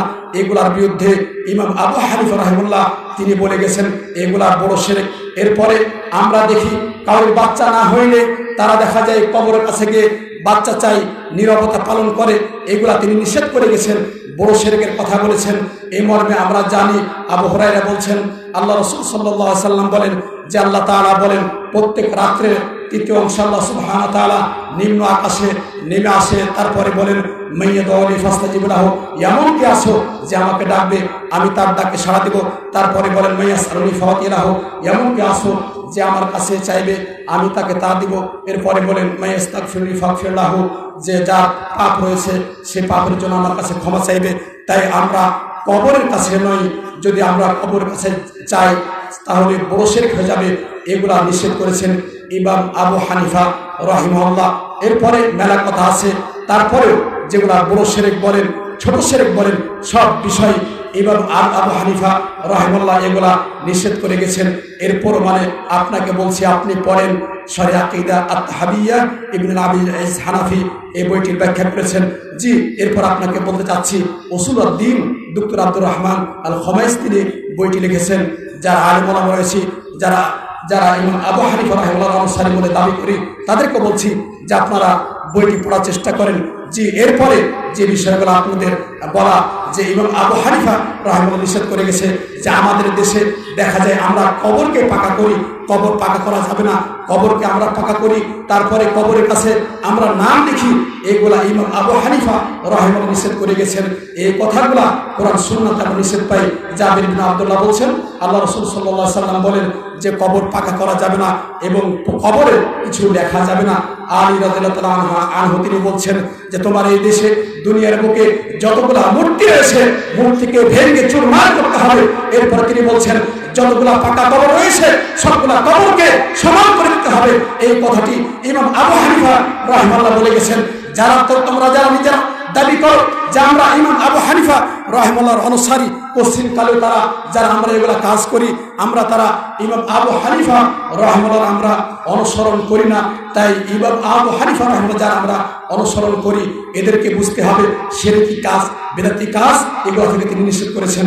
এরপরে আরেকটি বিষয়, যেটা গুরুত্বপূর্ণ বিষয়, যা আমরা পীর ধরি এবং এরপরে বলি ওসিলা না ধরলে জান্নাত পাওয়া যাবে না, পীর না ধরলে জান্নাত পাওয়া যাবে না। যেটা ওসিলে ধরা আল্লাহ রসুল সাল্লাহ সাল্লামের যে ওসিলা ধরা এবং কোন পীরের মাধ্যমে আপনি বললেন, ও পীর, পীরের মাধ্যমে আল্লাহর কাছে চাচ্ছেন যে আল্লাহ রসুলের মাধ্যমে আল্লাহ, তোমার কাছে আল্লাহ রসুল মাধ্যমে বা অমুক পীরের মাধ্যমে তোমার কাছে চাচ্ছি, তার সম্মানের অর্থে এগুলা চাচ্ছি, এগুলা তিনি নিষেধ করেছেন, এগুলা করা যাবে না। আপনি ওসিলা হিসেবে আল্লাহর নাম, উত্তম নাম রয়েছে, সে নামের দ্বারা আপনার ওসিলা করতে পারেন। সৎ আমলের দ্বারা আপনি ওসিলা করতে পারেন। কোন নেক ব্যক্তি রয়েছে, সৎ ব্যক্তি রয়েছে, এর মাধ্যমে বলতে পারেন যে, আমি বিপদে পড়েছি বা কিছু, আপনি আমার জন্য একটা দোয়া করে দেন যে জীবিত ব্যক্তি তার কাছে আপনি বলতে পারেন এইগুলা যারা সেরকি সেরকি অশিলা এবং বেদাতি অশিলা, এই মর্মে ইমাম আবু হানিফা রহমাল্লাহ নিষেধ করে গেছেন যে আর যেটি মাসালা, গুরুত্বপূর্ণ মাসালা, যে আমরা ইমাম আবু হানিফা রহমাল্লাহ নিজেরা দাবি করি যে ইমাম আবু হানিফা রহমাল্লাহ আমাদের ইমাম, অথচ আমরা বলি জাল্লা সর্বত্র বিরাজমান জিনা। এই আকিদা থেকে, এই আকিদা থেকেই মূলত কুফরি আকিদা এসেছে, এই আকিদা থেকেই মূলত ইমান নষ্ট হয়েছে। জাল্লা সুবহানাহু পশ্চিম কালেও সর্বত্র বিরাজমান নয়। ইমাম আবু হানিফা রাহিমাল্লাহ তিনি বলছেন কাউকে যদি জিজ্ঞেস করা হয় যে আল্লাহ তাআলা আল্লাহ তাআলা আসমানে আছে না জমিন আছে যদি তাকে জিজ্ঞেস করার পরে সে যদি বলে আমি জানি না তাহলে তিনি বলছেন সে কুফরি করবে কেন? আল্লাহ বলছেন আর রহমান আলা ইস্তাওয়া, আল্লাহ আরশের উপর সম্পূর্ণ অথচ সে বলছে আমি কিছু জানি না। তাই আপনাকে আমাকে জানতে হবে সুবহানাহু তাআলা আরশের উপর সমুন্নত তিনি দেখেন, তিনি শুনেন, এগুলা তার ক্ষমতা সর্বত্র বিরাজমান এবং কিন্তু আল্লাহ আরশের উপর আছেন। আমাদেরকে এটাই জানতে হবে, তার ক্ষমতা সর্বত্র কিন্তু আল্লাহ আরশে রয়েছে, এটি আপনাকে, আমাকে জানতে হবে। আর কয়েকটি কথা আমরা বলি যে আল্লাহর হাত রয়েছে, এরপরে আল্লাহ দেখেন, শুনেন, এগুলা আল্লাহর হাতকে আমরা কুদরতি হাত বলছি। বলি অনেকে বলি, কিন্তু ইমাম আবু হানিফ রহিমাল্লাহ বলছে, জি না, এটা কুদরতি হাত নয়, বরং আল্লাহর প্রকৃত হাত, আপনার হাত আপনার জন্য প্রযোজ্য, আমার হাত আপনার জন্য, আমার জন্য প্রযোজ্য, আল্লাহর হাত রয়েছে, আল্লাহর জন্য প্রযোজ্য, আপনি আমাকে দেখছেন, যারা সামনে ভাবে তাকাচ্ছেন, কিন্তু পিছনে কি আছে আপনি দেখতে পান না, কিন্তু আল্লাহ সুবাহ তালা সব কিছু দেখেন, আল্লাহ সুবাহ তালা সব কিছু দেখেন তার ক্ষমতা সর্বত্র, কিন্তু আপনার ক্ষমতা নিজের জন্যই তাই। আল্লাহ সুবাহ তালা যেন আমাদেরকে সঠিক আকিদা গ্রহণ করা এবং ইমাম আবু হানিফা রহেমুল্লাহকে জেনে বুঝে যাতে তার অনুসরণ করতে পারি। যারা আমরা আকিদা সেরে কি আকিদা নিয়ে আমরা জীবনযাপন করছি, আর নিজেকে দাবি করি যে আমরা ইমাম আবু হানিফা রহমুল্লাহ সারি আপনারা নিজের দাবিতে মিথ্যুক। তাই এই যে সালাফি কনফারেন্স মূলত ইমাম আবু হানিফা রহমুল্লাহ তিনি নিজেই সালাফি ছিলেন। ইমাম ইমাম মালিক, শাফি এরাও সালাফি ছিলেন। এদের জীবন পড়ুন এবং দেখুন এরাই আজকে পর্যন্ত কোরআন সুন্নার অনুসরণ করে গেছেন এবং এদের মাধ্যমে দিনের খেদমত হয়েছে। তাই আল্লাহর কাছে দোয়া করি যেন এই সালাফি কনফারেন্সকে কিয়ামত পর্যন্ত কবুল করেন এবং এই সালাফি কনফারেন্সকে আল্লাহ ওয়া তাআলা যেন সাদকায়ে জারিয়া এবং পরকালী নাজাত হিসেবে কবুল করেন।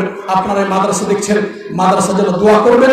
এই মাদ্রাসা ডাঙ্গিপাড়া, জামিয়া সালাফিয়া এবং রূপগঞ্জের জামিয়া সালাফি যে রয়েছে, আল্লাহ সুবহানাহু ওয়া তাআলা এই প্রতিষ্ঠানটিকে যেন কিয়ামত পর্যন্ত কবুল করেন, যারা শত্রুতা করে এদের শত্রুদেরকে যেন করে দেন, আল্লাহর ভয় যেন ঢুকে দেন, তারা যেন পশ্চিম কালো এই প্রতিষ্ঠানগুলো কোনো ক্ষতি করতে না পারে। আমার ওস্তাদ যে কাজগুলো করছে, আল্লাহ যেন ওনাকে হায়াতে তৈবা দান করেন এবং যারা আমরা সহযোগিতা করছি, এলাকাবাসী যারা আমরা সহযোগিতা করছি, জমি দিয়ে, টাকা দিয়ে, পয়সা দিয়ে যারা সহযোগিতা করেছি এবং যারা মৃত্যুবরণ করেছে, সবার জন্য দোয়া করি। আল্লাহ সুবাহ তালা সবাইকে যেন মাফ করে দেন, এলাকাবাসীকে মাফ করেন এবং তাদেরকে আরও বেশি ভালো করা, কাজ করা তৌফিক দান করেন। ওয়াখে আলহামদুলিল্লাহ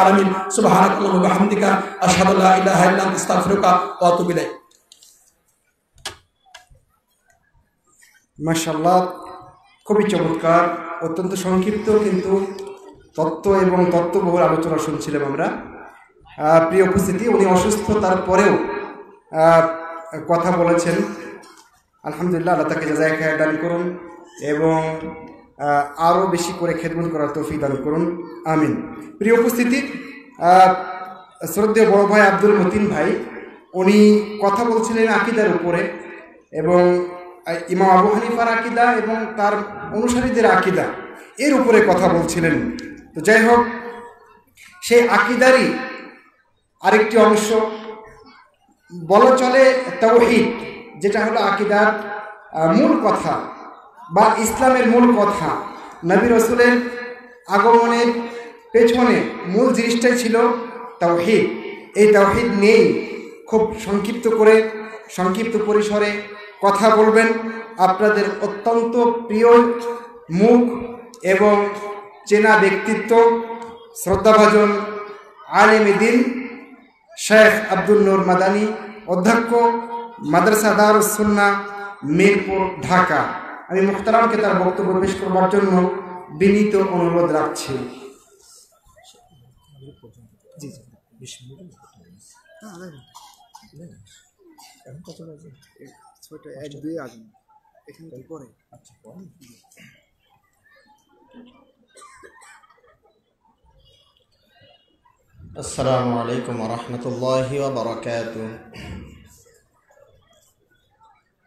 إن الحمد لله وحده والصلاة والسلام على من لا نبي بعده وعلى آله وأصحابه ومن تبعهم بإحسان إلى يوم الدين أما بعد.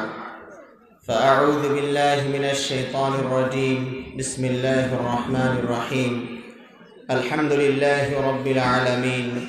الرحمن الرحيم. مالك يوم الدين.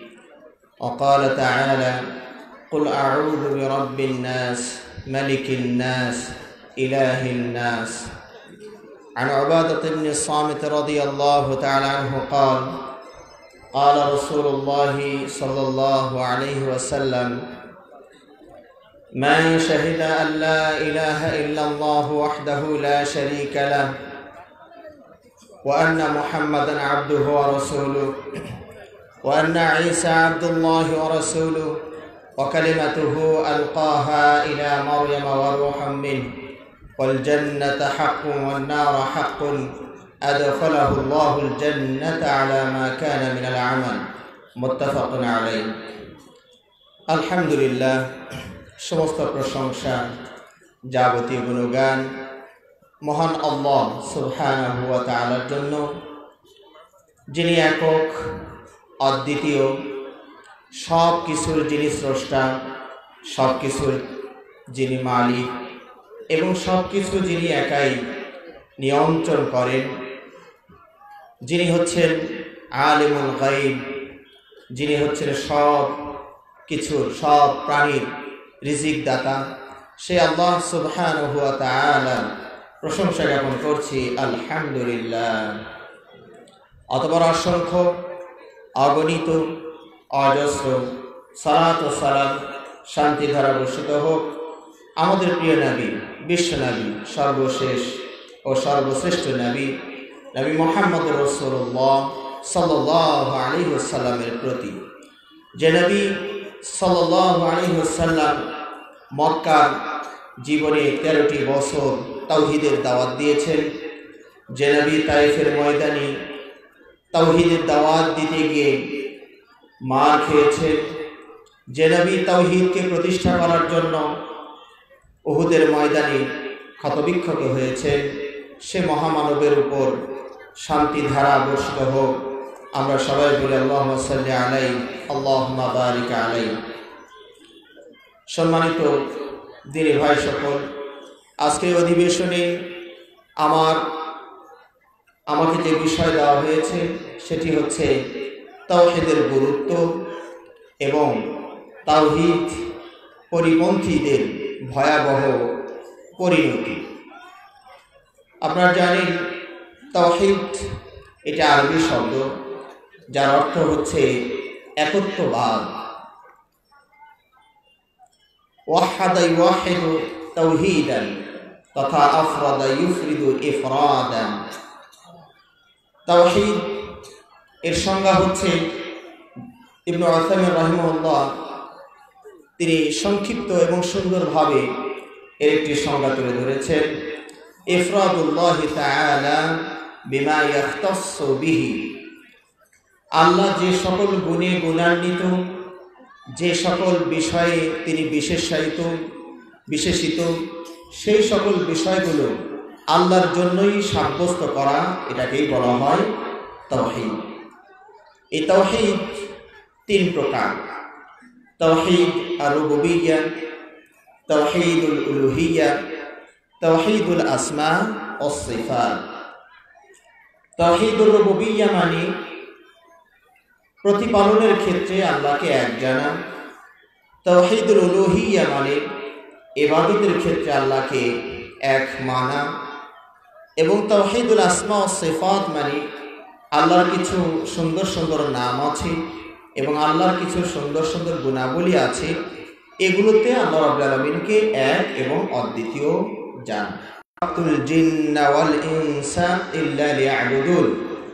আমি মানুষ এবং জিনকে সৃষ্টি করেছি শুধুমাত্র এক আল্লাহর ইবাদত করার জন্য, তথা তৌহিদকে বাস্তবায়ন করার জন্যই আল্লাহ রাব্বুল আলামিন মানুষ এবং জিনকে সৃষ্টি করেছেন। এবং এই তাওহিদের জন্যই আল্লাহ রাব্বুল আলামিন যুগ যুগ ধরে নবী এবং রসুলকে পাঠিয়েছেন। আল্লাহ রাব্বুল আলামিন পবিত্র কোরআনে বলছেন, ওয়ালাকাদ বাআথনা ফি কুল্লি উম্মাতির রাসূলা আমি যুগে যুগে নবী এবং রসুল পাঠিয়েছি। এই মর্মে যে তারা এক আল্লাহর ইবাদত করবে এবং আল্লাহদ্রোহী আল্লাহ বিরোধী আকিদা যারা পোষণ করে তাদেরকে তাহুদকে বর্জন করবে এই তাওহিদকে প্রতিষ্ঠা করার জন্যই আল্লাহ রাবুল আলমিন যুগে যুগে আসমানি কেতাব পাঠিয়েছেন আল্লাহ রাবুল আলমিন বলেন আলিফলাম কিতাবুন উহকিমাত আয়াতুহু ثم فصلت من لدن হাকিমিন খাবির আল্লাহ তা'বুদু ইল্লা ইয়া।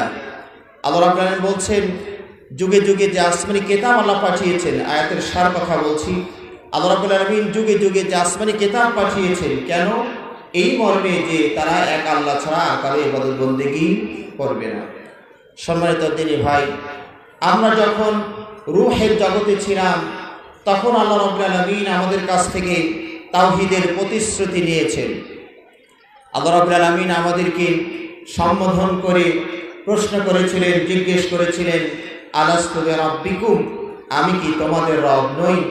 আমরা কিন্তু তখন সবাই তাওহিদের স্বীকৃতি প্রদান করেছিলাম এবং বলেছিলাম, বালা, অবশ্যই আপনি আমাদের একমাত্র পালনকর্তা আমরা যখন দুনিয়াতে ভূমিষ্ঠ হলাম, তখনও তাওহিদ দিয়ে ভূমিষ্ঠ হয়েছি।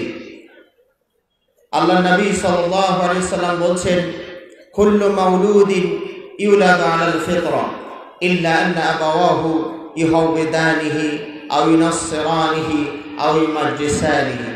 প্রতিটি নবজাতক সন্তান জন্মগ্রহণ করে তাও তাওহীদের উপরে, ফিতরা, তথা তাওহীদের উপরে তারা জন্মগ্রহণ করে। কিন্তু তার বাবা মা তাকে শিরকে নিমজ্জিত করে। তার বাবা মা তাকে ইয়াহুদ বানায়, খ্রিস্টান বানায়, অগ্নি পুজো, তাওহিদ থেকে তাদেরকে বিচ্যুত করে।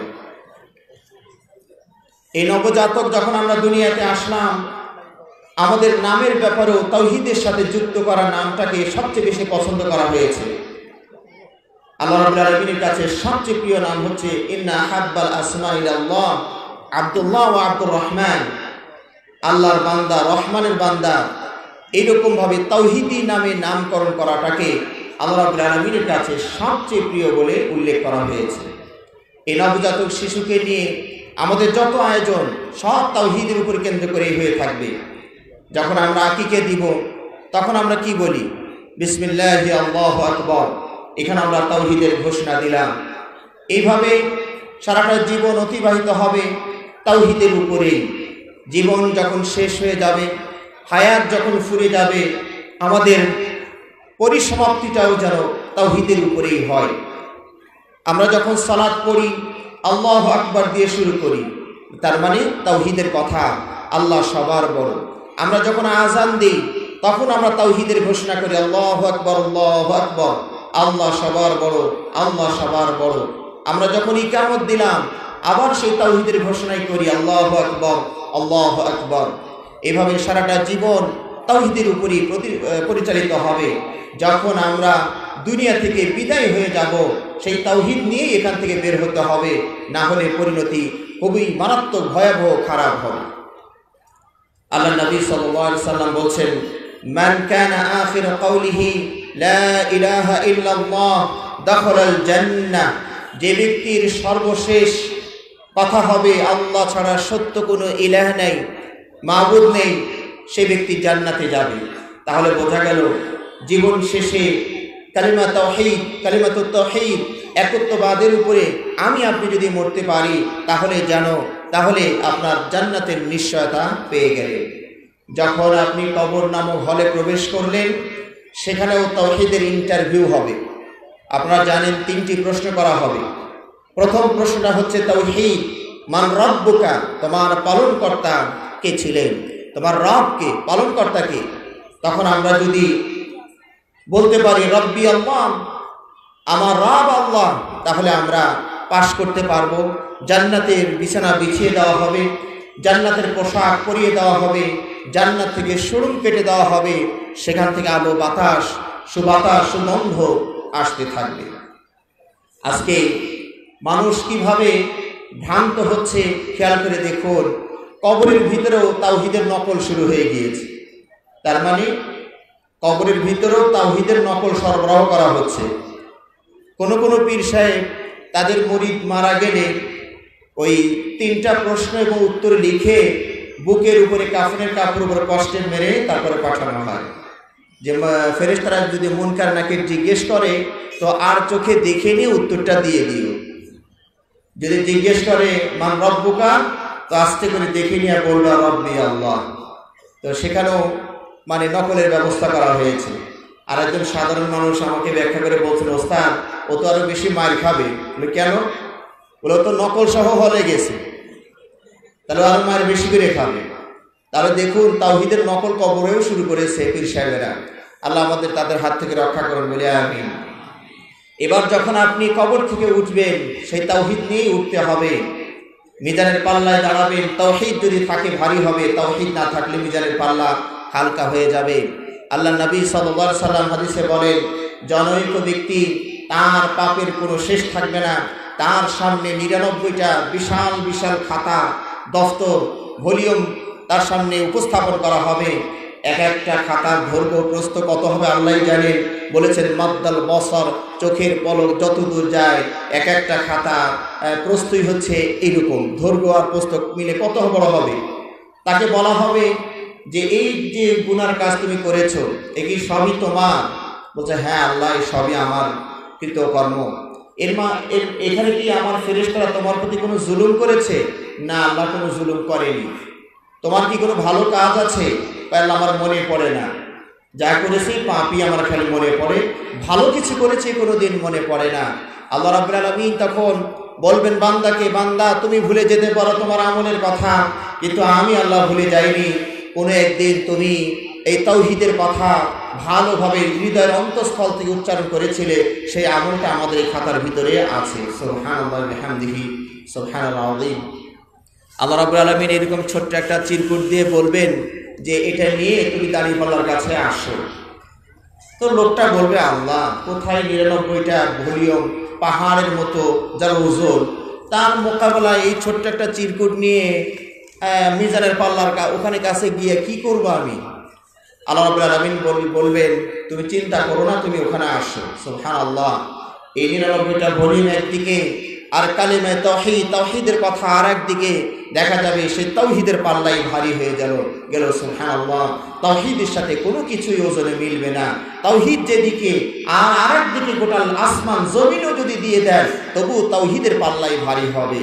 এই যে মিজানের পাল্লা ভারী হয়ে গেল, আমল নামা আসবে ডান হাতে। তাহলে তাওহিদ যদি ঠিক থাকে, আমল নামা ডান হাতে। তাওহিদ ঠিক নাই, আমল নামা আসবে বাম হাতে।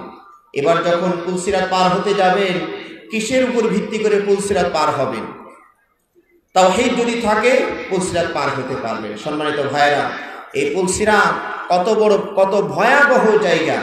আল্লাহ নবী সাল্লাল্লাহু আলাইহি ওয়াসাল্লামের হাদিস থেকে বোঝা যায়, আহাদ্দু মিনাস সাইফ এই পুলসিরাত হচ্ছে তলোয়ারের চেয়েও বেশি ধারালো। ওয়াদাক্ক মিনাস শাআরা চুলের চেয়েও চিকন। নিচে দাও দাও করে আগুন জ্বলছে। কোন আগুন সেটা? জাহান নামের আগুন, যা উনিশসত্তর গুণ তেজ বেশি। রাস্তাটা হবে অত্যধিক মারাত্মক পিচ্ছিল। আপনারা এঁটেল মাটি দিয়ে মাঝে মাঝে হেঁটে দেখবেন, পা রাখা যায় না। এর চেয়েও মারাত্মক পিচ্ছিল জায়গা হবে ওই পুলসিরাতের রাস্তা মানে ওঠার যে রাস্তাগুলো। এবং সেখানে রয়েছে অন্ধকার আর অন্ধকার। বিপদ কতগুলো খেয়াল করে দেখেছেন? প্রথমত, ব্রিজটা হচ্ছে খুবই সরু। মানে এত সরু কোনো ব্রিজ হতে পারে, এটা আপনার আমার কল্পনায় আসতে পারে না। চুলের চেয়েও চিকন, সবার মাথায় দাঁড়িতে চুল আছে, এটা ধরে দেখুন, এই যে, এইটা হচ্ছে তুলসিরাতের ব্রিজ এটা কোনো ব্রিজ হয়? সোহান আল্লাহ এটা তো যমুনা সেতু নয়। যেদিক দিয়ে দুটো গাড়ি আসবে, ওদিক দিয়ে দুটো গাড়ি যাবে, পাশে আবার ট্রেনও দৌড়াদৌড়ি করতে পারবে। এইরকম তো ব্রিজ নয়। চুলের চেয়েও চিকন, ধারালো তলোয়ারের চেয়েও ধারালো, নিচে দাও দাও করে আগুন জ্বলছে। আমরা যারা বন্যা প্লাবিত এলাকায় বসবাস করি, সিরাজগঞ্জ, টাঙ্গাইল, এই সকল এলাকায় দেখা যায় হঠাৎ করে বন্যা এসে গেলে এক বাড়ি থেকে আরেক বাড়ি যাওয়ার জন্য বাঁশের সাঁকো বা বাঁশের সেতু আমরা নির্মাণ করি। পাশে ধরার জায়গাও থাকে। এর উপর দিয়ে হাঁটতে গেলেও আমরা অনেক সময় থরথর করে কাঁপি, পড়ে যাই কিনা। আর পড়লেও তো সমস্যা নাই। টাঙ্গাইল, সিরাজগঞ্জের মানুষ পড়ে গেলেও সমস্যা নাই। কারণ নিচে পানি আর সাঁতার তো জানি। পড়লেও সমস্যা নেই। কিন্তু জাহান নামের এই ব্রিজটা কত ভয়াবহ ব্রিজ। এই ব্রিজ দিয়ে পার হতে হবে। কি দিয়ে পার হবে? অনেকেই হয়তোবা জাহাজের অপেক্ষায় আছে। মানে অফার তো দেওয়াই আছে। বড় বড় উলিয়া উলিয়া গাউস কুতুব জাহাজ নিয়ে আসবে। সেই জাহাজে পার হওয়ার চিন্তা ভাবনায় গভীর ঘুম তারা দিয়েছেন। এগুলো সবই প্রহসন, এগুলো সবই প্রতারণা। এখানে বিকল্প কোনো ব্যবস্থা নাই। কোনো জাহাজ এখানে আসতে পারবে না। আচ্ছা বলুন তো জাহান নামের উপর দিয়ে কোন জাহাজটা চলবে? ওটা যদি কাঠ দিয়ে বানিয়ে নিয়ে আসে পীর সাহেবরা, তো জ্বলে পুড়ে সারকার হয়ে যাবে। আর ওটা যদি লোহা ইস্পাত দিয়ে বানিয়ে নিয়ে আসে, তো গোলে পানি হয়ে যাবে। যিনি রক্ষা করতে আসবেন, তিনি আগে মরবেন।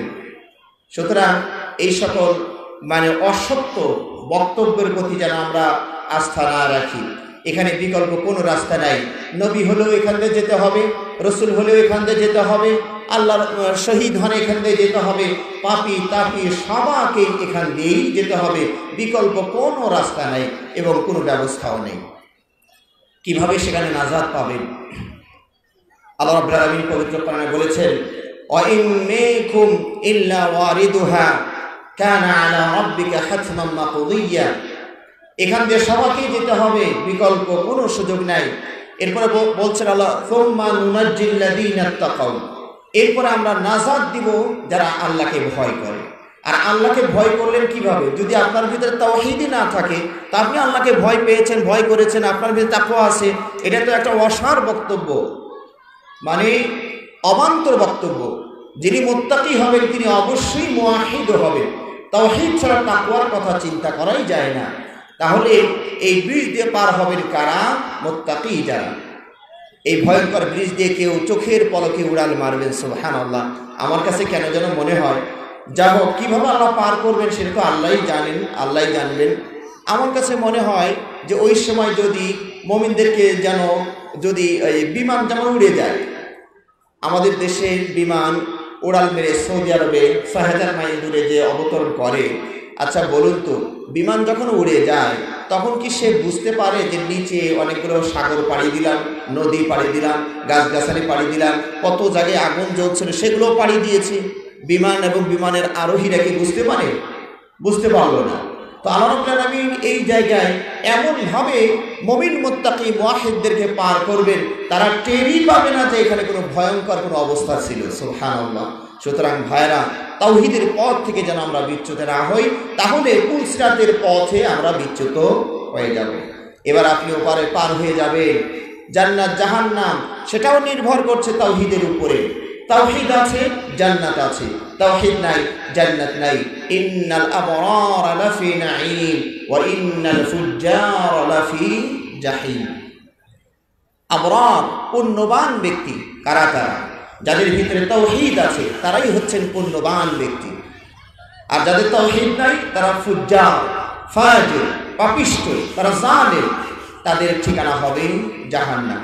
সম্মানিত ভাইরা এই সংক্ষিপ্ত আলোচনায় আশা করি আপনারা তাওহীদের গুরুত্ব বুঝতে পেরেছেন। এক কথায় বলা যায় তাওহিদকে কেন্দ্র করেই সব কিছুর আয়োজন করা হয়েছে। মূল হচ্ছেন আল্লাহ তাআলা। তাকে কেন্দ্র করে সব কিছু প্রদক্ষিণ করছে, ঘোরাফেরা করছে একমাত্র আল্লাহকে মানে আল্লাহকে কেন্দ্র করে।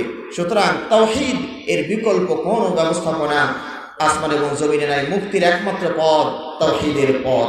এই তাওহীদ তিন প্রকার আমি কিছুক্ষণ আগে আমার বক্তব্যের শুরুতে বলেছি।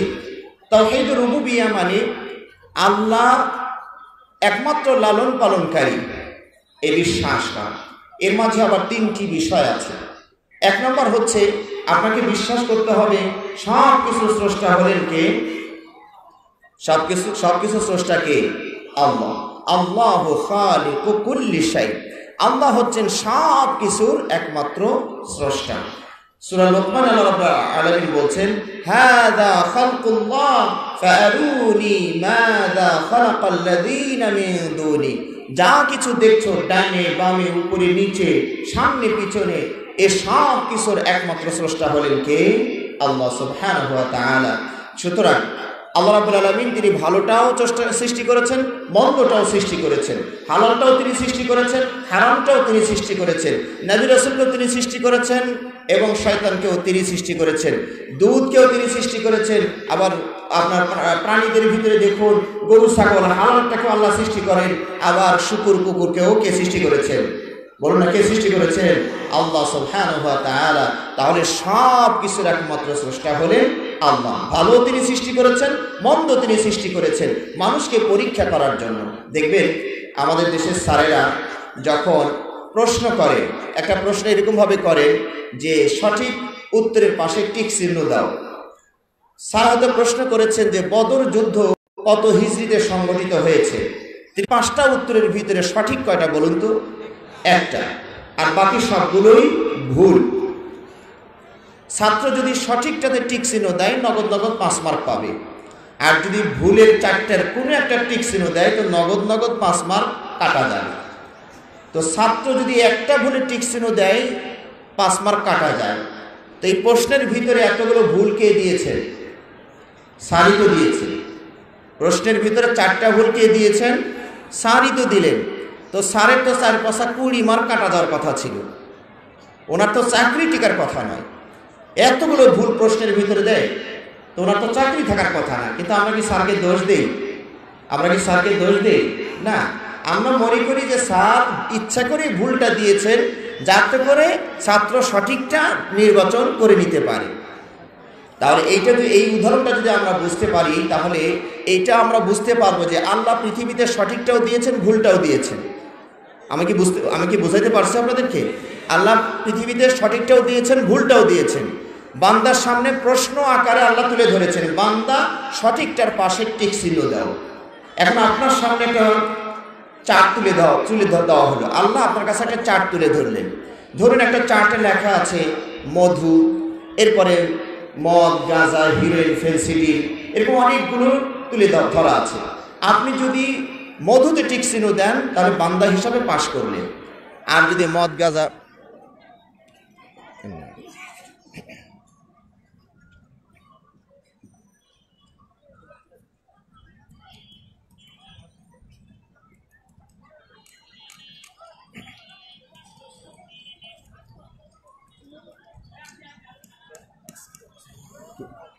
আলহামদুলিল্লাহ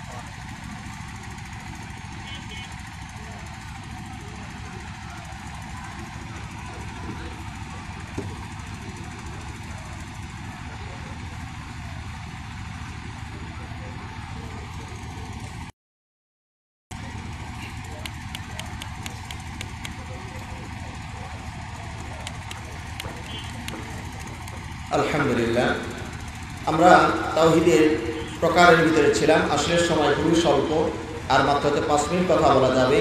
তো যেহেতু আমার বক্তব্যের বিষয়ে দুটো সাইড ছিল, তাওহিদের গুরুত্ব, আর আরেকটা সাইড ছিল তাওহিদ পরিপন্থী আকিদা ভয়াবহ পরিণতি ভয়াবহ পরিণতি।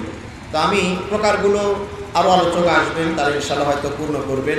আমি ওই সাইডটাও কিছু বলি। যাদের ভিতর তাওহিদ নাই, তাওহিদ বিরোধী যারা, তাদের অবস্থানটা কোন অবস্থানে আছে। তাদের তারা কোন অবস্থায় আছে? দেখুন, যাদের ভিতরে তাওহিদ নাই, তারা এক নম্বর হচ্ছে নাপাক ব্যক্তি। মনে থাকবে তো ইনশাআল্লাহ?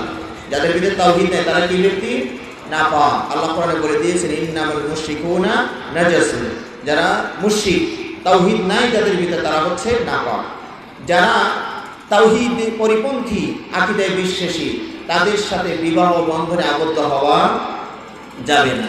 তাদের মেয়েটা যতই সুন্দরী হোক যতক্ষণ পর্যন্ত তাওহিদ বিরোধী অবস্থানে থাকবে, তাদেরকে বিয়েও করা যাবে না। আল্লাহ রাব্বুল আলামিন পবিত্র কোরআনে বলে দিয়েছেন ওয়ালা ওয়ালাতান ওয়ালাতান কাহিল মুশরিকাতি হাত্তা ইউমিননা। মুশরিকা নারীদেরকে তোমরা বিয়ে করিও না। তাওহিদ পন্থী যারা তাওহিদ এর বিপরীতে যারা চলে, তাদের মেয়েদেরকে বিয়ে করো না। ওলা আব, ওলা আমাতু মুমিনাতুন খায়রুম মিন মুশরিকাতি ওয়ালাউ আ'জাবাতকুম। যদিও সেই নারী পরমা সুন্দরীও হয় তারপরও তাওহিদ না থাকলে সেই মেয়েকে বিয়ে করা যাবে না। যারা তাওহিদের বিপরীতে অবস্থান নিয়েছেন তারা হচ্ছেন সবচেয়ে বড় জালেম।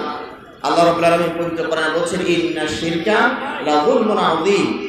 এবং এদের ঠিকানা হচ্ছে জাহান্নাম। আল্লাহ রাব্বুল আলামিন পবিত্র কোরআনে বলেছেন, ইন্নাহু মাইয়ুশরিক বিল্লাহ, ফাকাদ হারাম আল্লাহু আলাইহিল জান্নাহ ওয়া মা'ওয়াহুন নার ওয়া মা লিয-যালিমিন মিন আনসার। যারা শিরিক করল, তথা তাওহীদ পরিপন্থী আকীদায় বিশ্বাসী হলো, তাদেরকে সম্পর্কে আল্লাহ বলছেন, তাদের জন্য জান্নাত হারাম, তাদের ঠিকানা হচ্ছে জাহান্না এবং এই সকল জালেম এদের জন্য কোনো সুপারিশকারী থাকবে না। যারা তাওহিদ পরিপন্থী আকিদাই বিশ্বাসী, তাদের কোনো আমল কবুল হবে। আল্লাহ বলে দিয়েছেন মা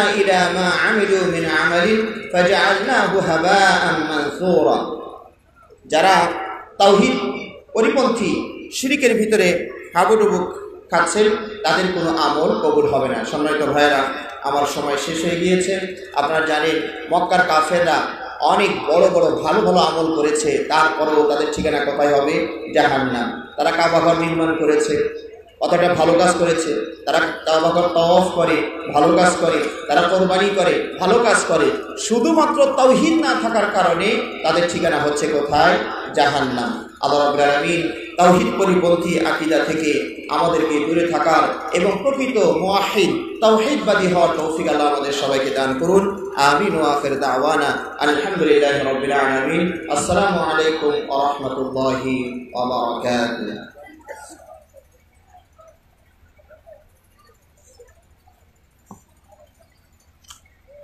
জাজাউল্লাহ খায়রান জাজা। ধন্যবাদ শেখ আব্দুল নূর মাদানী সাহেবকে। তাওহিদ এবং